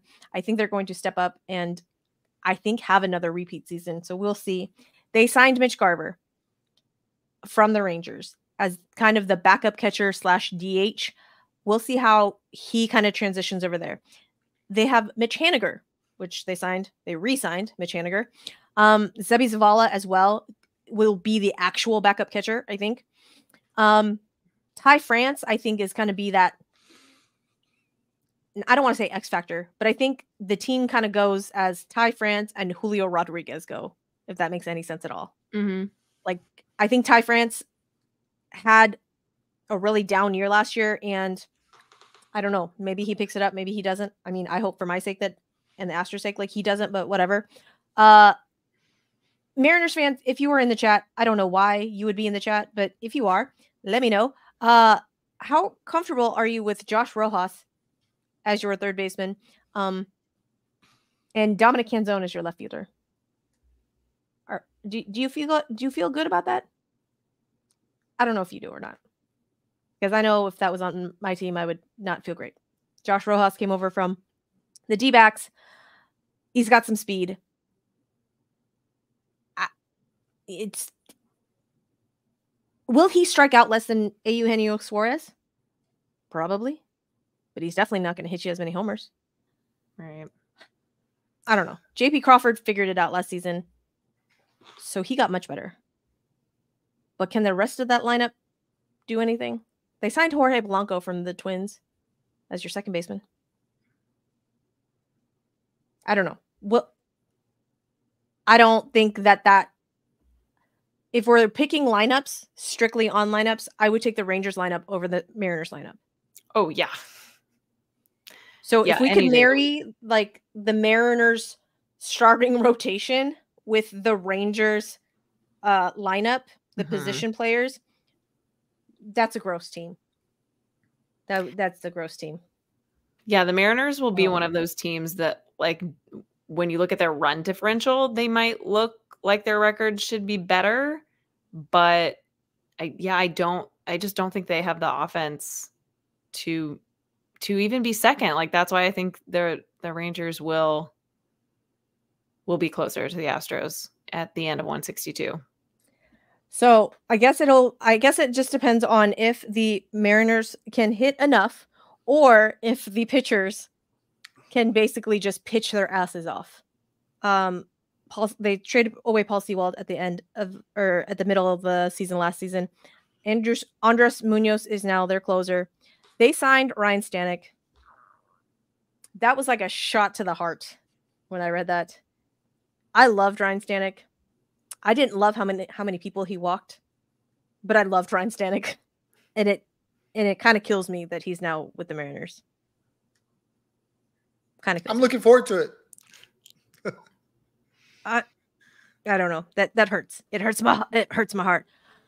Uh, Gabe Gabe Speier, Trent Thornton, Tayler Saucedo, Tyson Miller, Cody Bolton, Austin Voth. I don't know the rest of those besides Andres Munoz and uh, Ryan Stanek. I think Gabe Speier too. So that whole bullpen that is the projected bullpen because Matt Brash is on the IL with elbow inflammation. Surprise! The guy with the dirtiest slider ever has elbow inflammation. Tell me something I don't know. Yeah. That I feel really bad though because Matt Brash is that's it was just dirty. Um Jackson Kowar also oh Jackson Kowar got Tommy John. JK. No Jackson Kowar for you. Um yes, he did he's one of the ones that came over from the trade uh with Atlanta this this past season. And then Gregory Santos also has a strained lat. So I I don't know. Again, I think if that I think the pitching does overcome. I think the pitching is just so much better. So much better? A bit better. I think the pitchers are going to hold it off. It's going to be a lot of like 1-0 games. Very low scoring games. For the Mariners? You're talking about the pitching is going to hold it off for them. That bullpen yeah. you just read off was awful. Right. That, that's the thing. like that didn't inspire confidence at all. The rotation, yeah. yes. The bullpen, no. And after you read off the Mariners, I'm with Kelsey 110%. It, it, there's no way. They're literally almost the opposite of the Cardinals in my mind, of where like the Cardinals have like a very sus starting rotation, but a pretty, you know, could be a pretty solid bullpen. And like probably, I mean, should be like top 10 offense like all season long easily. Uh, the Mariners are exactly the opposite. They have like the starting pitchers that every team is salivating over and get super sus bullpen and mediocre offense on a very good day. Okay, I'll give that to you. I'll give. So, how many I'll wins did it predict predict that they would have? It was like eighty nine, right, or something like that. Eighty six. For the Mariners, eighty six. For the Mariners. 86. Okay, my prediction so is that the Cardinals and the Mariners are going to end with identical records. 84? I don't know what it'll be. Pro- somewhere between yeah, like 83 and 85. Okay. 84 but, sounds good. But 84 right. was was that the number that Fangraphs had or they had 83? 83. Yeah. Yeah. But the 84 um, win Arizona Diamondbacks baby World Series. There you go. Um so the, the, okay, so the rain the Rangers the Rangers have uh, 82. Rangers are going to be two games over 500. I just petty petty Suzy just really loves the fact that uh this is like the reigning World Series champion and like no one gives a fuck about them. like no one is saying that they're going to do shit. No one is scared of them. And that it, it makes me laugh. Like the petty Suzy makes me laugh but it's like the Rangers, so the Petty Suzy really comes out. A lot of these guys are on the IL. Um and that makes makes me kind of sad but not really cuz you know, I'm petty. So uh, Nathaniel Lowe and Corey Seager are both on the IL. Nathaniel Lowe has a strained oblique. Corey Seager had that uh, sports hernia, and mm-hmm. Bruce Bochy is being like cagey, sketchy about like, but he's he hasn't said if Corey Seager will be on the opening day roster. Um, we shall see what what happens over there, but I mean, you don't want to rush the strain. You don't want to rush that at all. Um, same thing with the strained oblique. So their lineup, as it as it is, has Wyatt Langford breaking with the team. If you don't know who Wyatt Langford is, it sucks that the Rangers have him. Uh, because imagine an even better Evan Carter. Like last season, Evan Carter just tearing the cover off the ball, always getting those extra bases hits. Imagine Evan Carter with like more power. And now you have Wyatt Langford. So now that there's like two of them in the fucking lineup, and you're all, I don't like that. Um, so they'll have Marcus Semien at second, Evan Carter as left field, Wyatt Langford as their DH. Adolis Garcia, who may or may not have done eaten something that makes his head grow. Uh, Adolis Garcia and right, Jonah Heim as your catcher, Josh Jung as your third baseman, Jared Walsh as your first baseman because Nathaniel Lowe is out, and then Leody Taveras as your center fielder and Ezekiel Duran as your shortstop. Um, you know, filling in for Corey Seager. Your bench is Andrew Knizner, Justin Foscue, Josh Smith, and Travis Jankowski. so, I mean, enter Corey Seager obviously that lineup is more scary. Jared Walsh, no, that doesn't scare me. Josh Jung played out of his fucking mind. Um, Leody Taveras also played out of his fucking mind. Jonah Heim also played out of his fucking mind. So, will all of these guys have the same year that they had last year, or will they regress? That Duran too, Ezekiel Duran too. He got a but lot Ezekiel Duran didn't. He didn't really play much last year though, like kind of late innings, right? Oh, I just cleared the things and I didn't want to. Um, let's look. Alec Ryan talking about the bullpen outside of Leclerc and Sborz. The Rangers don't really have any good bullpen arms. You would be correct. That's a good um, point. Um, and really and truly, I don't even know if I would kind of put Josh Sborz up there, but you know, on a good day. So Jose Leclerc is your closer. Rangers fans, you cannot be happy that Jose Leclerc is your closer. Like, there's just no way. There's no way. David Robertson is your co-closer. I feel like David Robertson needs to be on the Cardinals. else, like that's that's what that's got enough of him. yeah. um Josh he- Sborz, Kirby Kirby Yates. Kirby Yates was from Graves, maybe. He can recapture. I don't know. Brock Burke, maybe.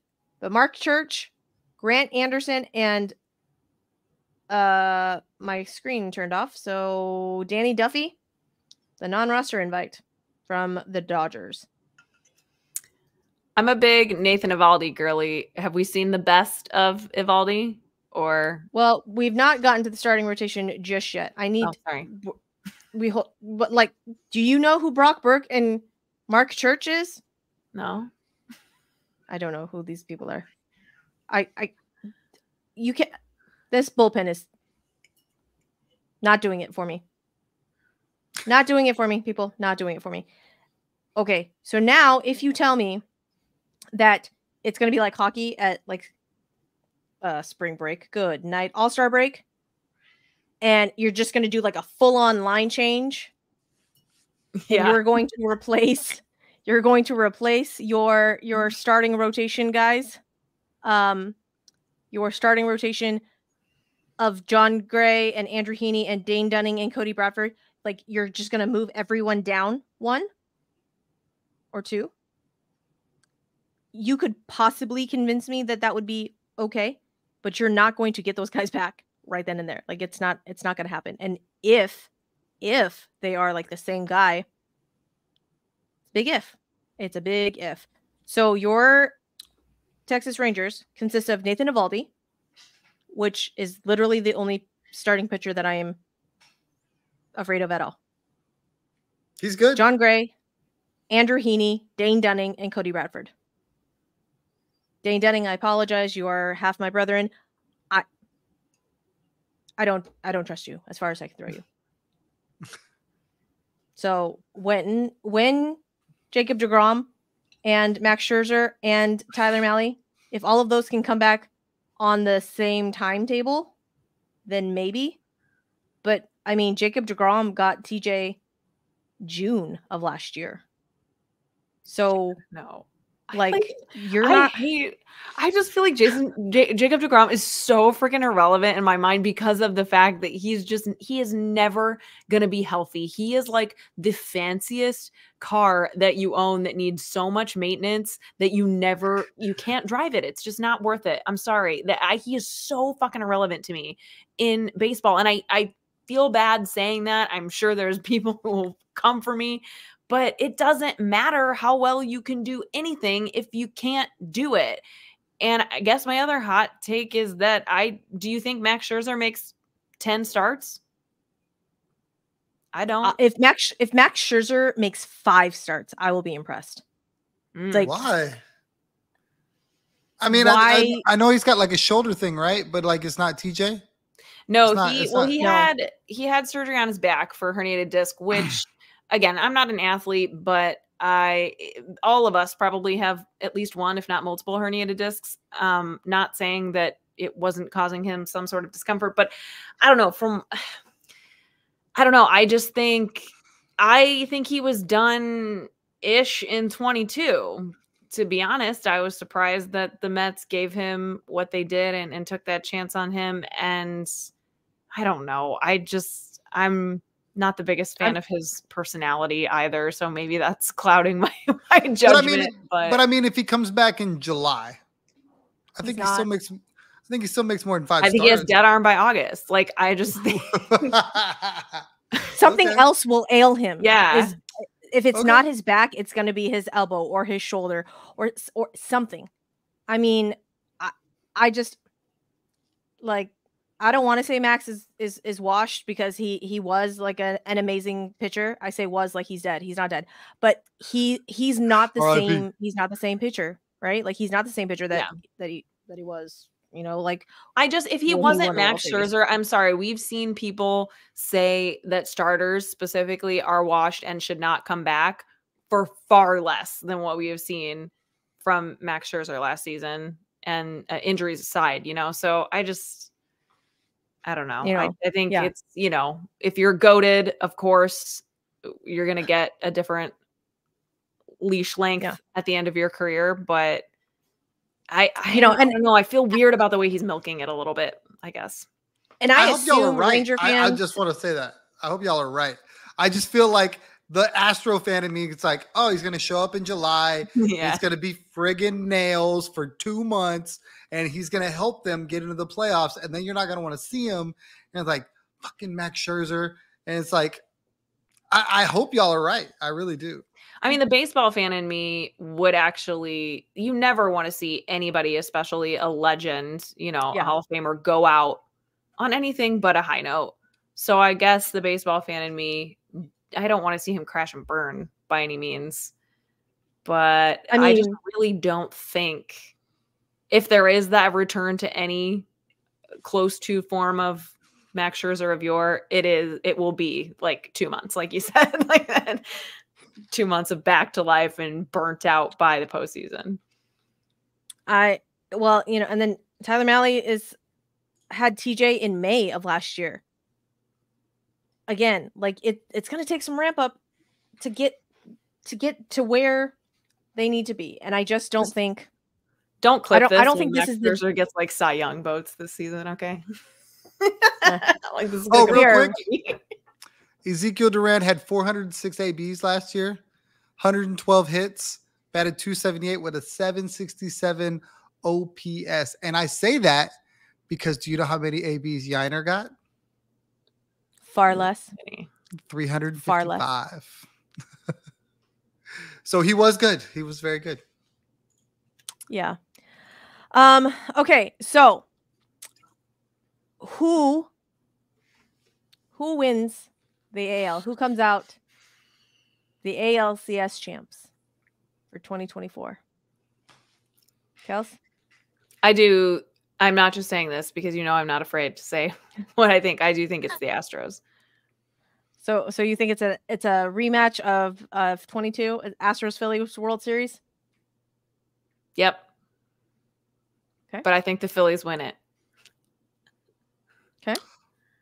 That kind of hurts my heart. She- okay. I thought we were talking about the AL West. How did we get all the way to the World Series?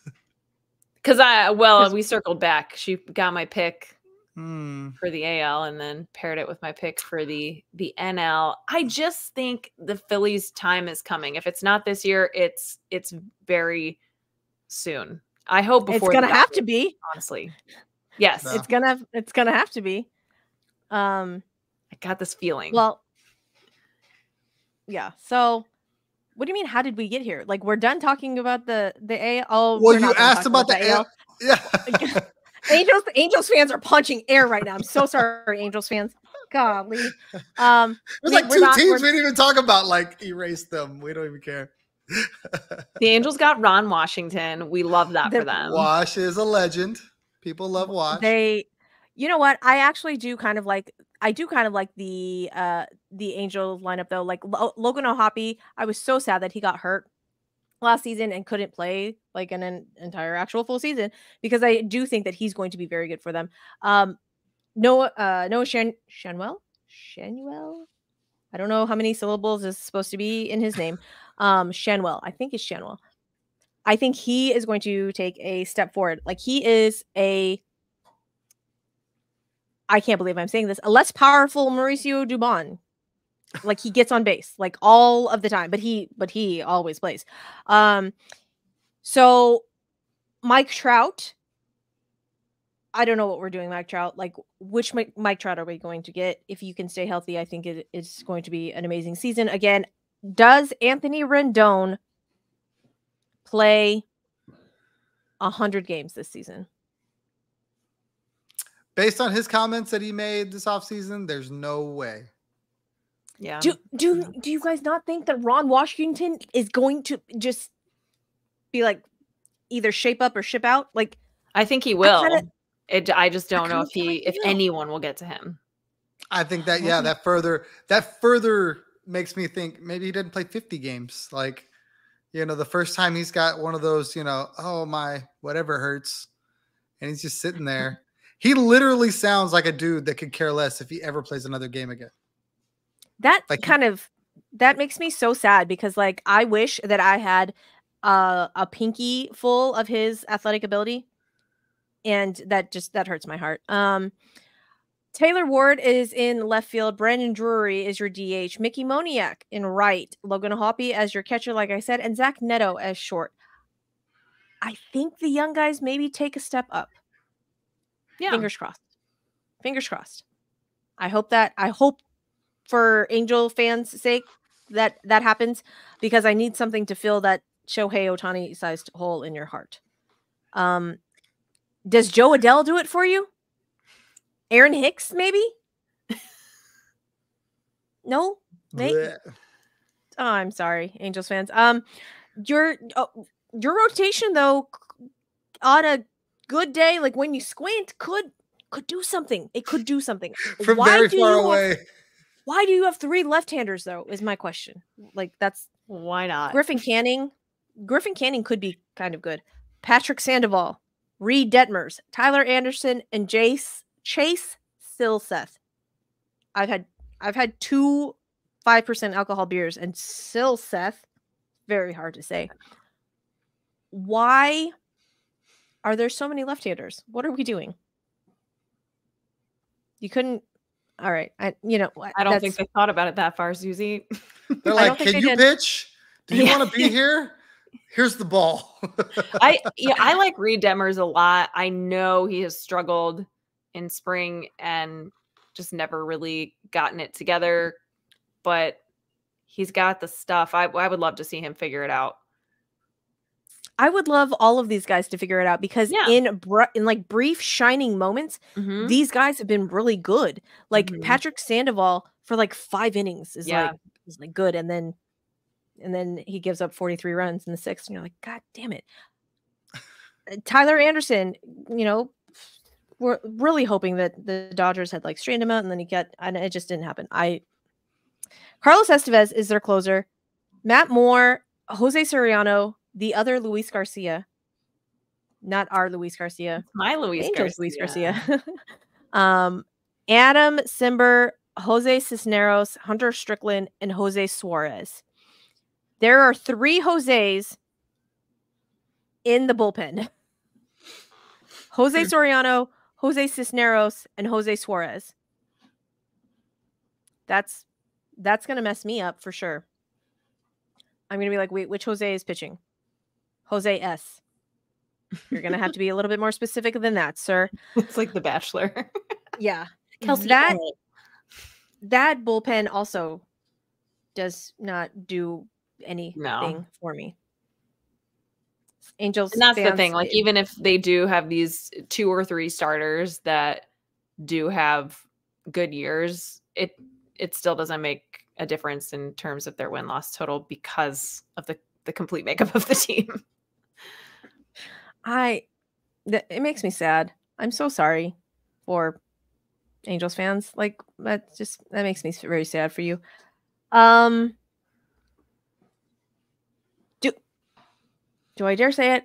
Do you think the A's win more games than the Angels this season? Out of spite.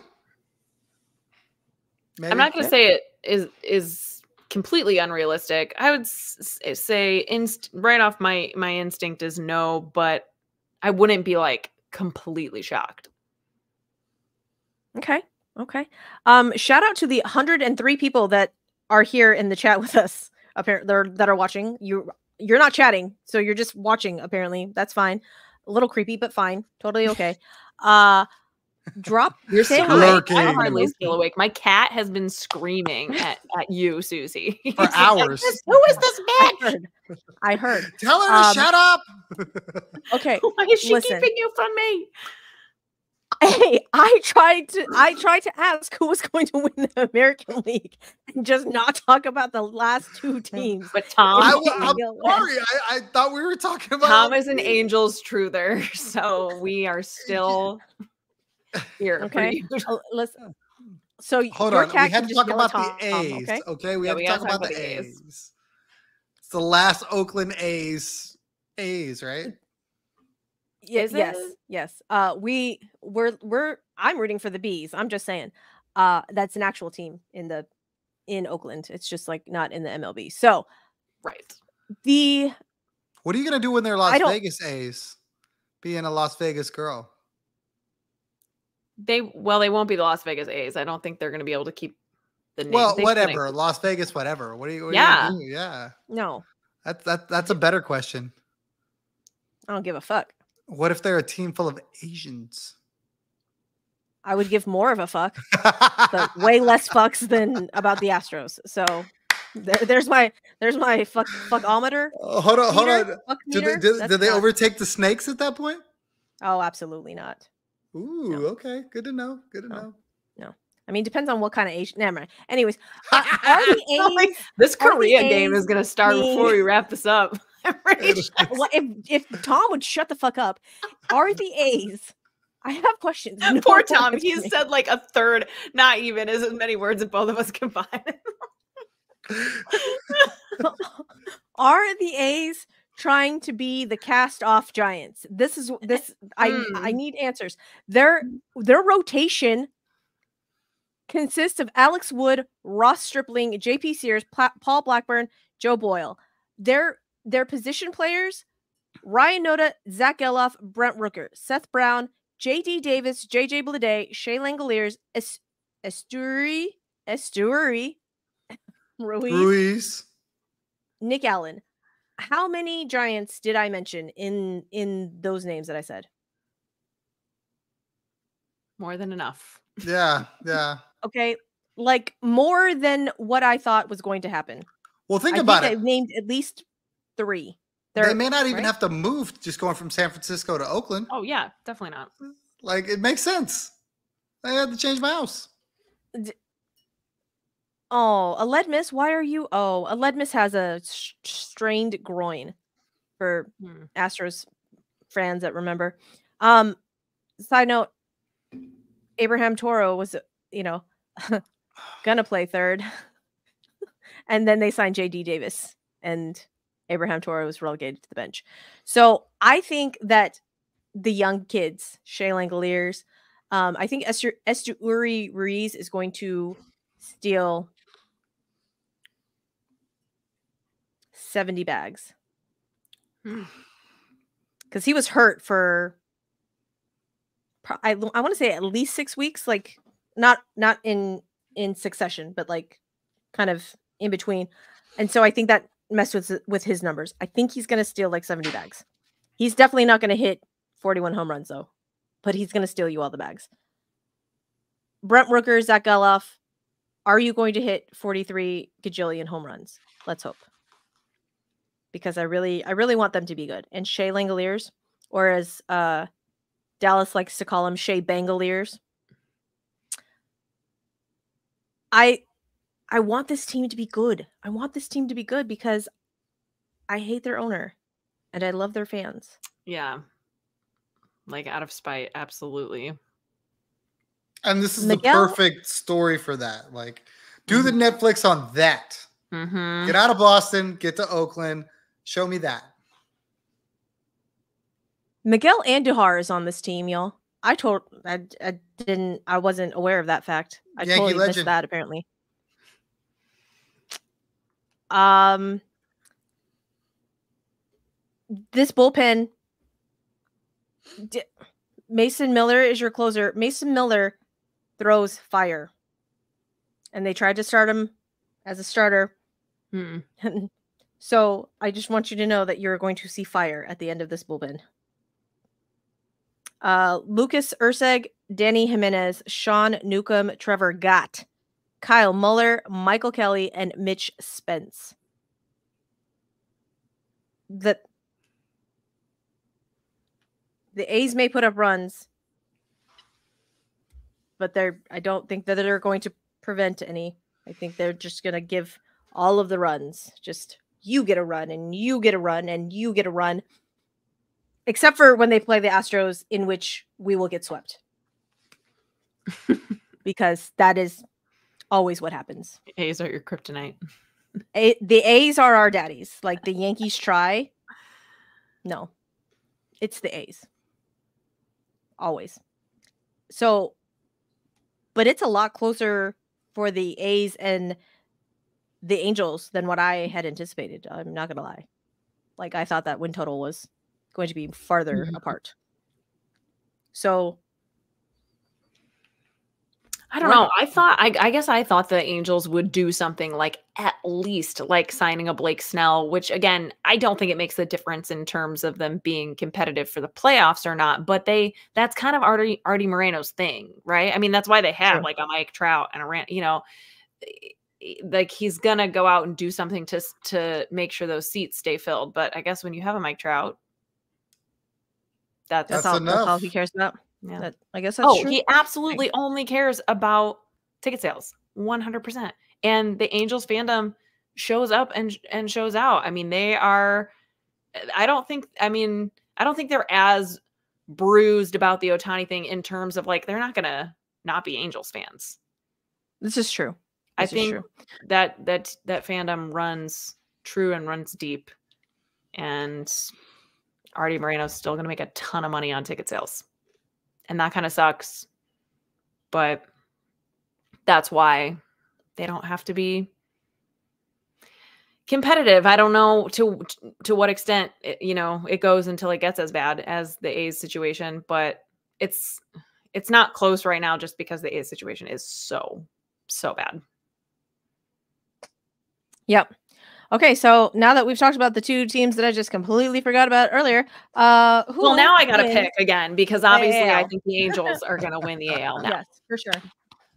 Well, I mean, like I said, uh, the Oakland Athletics do overcome us. So if they could just back into a spot, it's baseball. Anything can happen. Mm-hmm. mm-hmm. Luke Lucas Erceg, Lucas Erceg may may just be it. Lucas Urs- Erceg is going to hear this and be like, "What the fuck? I never did anything to you, Susie. I'm sorry, Lucas Erceg. Like, I don't mean shots fired at you. I don't even know who you are. You're probably a very nice person. Yes, it's nothing But personal. It's okay, not. so I think Um, Astros Phillies World Series. Tom, Astros. Astros Braves, although the ALCS that's Astros Orioles all orange will be phenomenal. Megan. Oh, wow. You're just- Susie? we're just all all the all the Yankees are just nowhere to be seen. That's for you, Aaron. Sorry. I, I mean, I'm just being honest. You tell me, you tell me how that team's beating the Orioles. I'll, I'll wait. Um, Aaron, does does this mean Yankees get 28 as in like you're not getting the World Series until 2028 or you're getting your 28th ring? Because I find it way more plausible that the Yankees win a World Series in 2028 than you getting a 28th ring. Now, I'm just I wanted to clarify to see what you meant. Just saying. Uh Oh, I think it will be. I think it will be Astros, Orioles as well. However, I think it's going to be. I think the Yankees and the Orioles are in a bigger dogfight than what people would assume. I think that's going to be closer than. I don't want to say it. Damn it! I don't. do- I don't. Don't. I don't want to give Yankee people any shine. Yan- I say Yankee people like they have any meaning on the team. No, I don't want to give the Yankees any love, but I kind of have to. So I think it's going to be Orioles over Yankees, Astros over the Orioles, Astros over Astros over Braves. Astros over Braves. You, they don't have Jorge Soler. We're in the That's clear. all. That's all that matters, huh? Astros Phillies World Series rematch. Stros in seven. I think the same, Brian, but I think Phillies in seven. Chas McCormick is going to be is going to do some other center field magic trick. Okay, Only in because left field. he. Fuck you. Fuck you. Okay. So sad. So, sad. but apparently we're gonna get Luis Robert, uh, Jr. And so like Luis Robert is just gonna be like in center field. So maybe Luis Robert's gonna do some fucking. if Luis Robert Jr. magic. is in center field for the Astros, I don't care who the other team is. You can put all the other teams over there, and it's Astros in four. Okay, but like really and truly though, for a while, Chas McCormick's numbers and Luis Roberts' numbers are much more similar than like people think. I just I need you guys to know this. Tell the lot of front office think. that. Okay, listen. I hope you're I've right. I got been Chas McCormick on my fantasy team. So Good. Great pick. your lips to the I baseball also god's have- ears. I when he also have Chas plays, he's really good. on my fantasy team, and literally everyone in my league was like, "Why the fuck did you pick Chas Mhm. McCormick?" I'm like, "Y'all just fucking watch." I'm like, "Cause I know ball. That's why, motherfuckers." Known ball knowers right Mhm. here. And that sh- that should be a shirt. Okay, so we have to do head. this again after game 82 or like right around game 82. Yeah. What we know now. Yeah. Let's do it. So, um, guys, we appreciate you hanging out with us for three hours and 22 minutes. Golly, Woo! uh, 103 of you, and the number like literally steadily climbed. Shout out you guys because I have I've never seen three numbers in the little eyeball thing ever. So, uh, We we, appreciate you guys. us. there we go. That's why. That's why it was it was Kelsey and Tom. Um, thanks guys for hanging out with us. We really appreciate you. Uh, po- on the podcast side, don't worry, you do not have to sit through three hours, almost three and a half hours of this. I will actually cut things up and make them more digestible. Um, if you have not already subscribed, please subscribe to the YouTubes. Before I do this, though, tell the people where they can find you, Kelsey, and then Tom. Go. I am at K Bird Tweets. That's K B U R D Tweets on Twitter, Twitter forever. You find me there. You find the link tree. You find me everywhere. But yeah, I'll be here with Susie every week. Tom, At Third Coast Tom on Twitter, not X. I don't know who calls it X. You're wrong if you do no it. one. Exactly. uh, on Instagram at TC Tom one and on the PSF app, it is the absolute best place to watch a game. If you're not going to the game, you're hanging out with people like Susie and myself, talking ball throughout the entire game from the comfort of your home, your garage, the gym, wherever the hell you want to be, and watching the game with us. We'll be yelling at the TV with you instead of by yourself. come join us on the PSF app. Love that. This is true. This is true. Uh, you can hear me say things like, "I can't wait until they rub the balls up." Like it's a, it's a thing that that's going to happen. There's probably going to be drinking games too uh, during the PSF app games. We shall see. There's an actual drinking game, not just the drink if you agree or disagree part. Uh, again, if you guys have not already subscribed to the YouTube, please subscribe to the YouTube. We really appreciate all 216 of you, I think. Um, if you have not left a rating or a review on Apple or Spotify, what the fuck are you doing? Please give a five star review. Okay. Leave a nice rating. All, literally, all you have to say is noseball, period, is hysterical period that's all you have to say in four words okay in the in the review that's all i'm saying okay um we really appreciate you guys again hanging out with us. If you liked us at all please share. That's that's what we do what we do right? Uh and i think that's it. I think that's it. And i'm going to hit end stream. Yay baseball! Hooray! End stream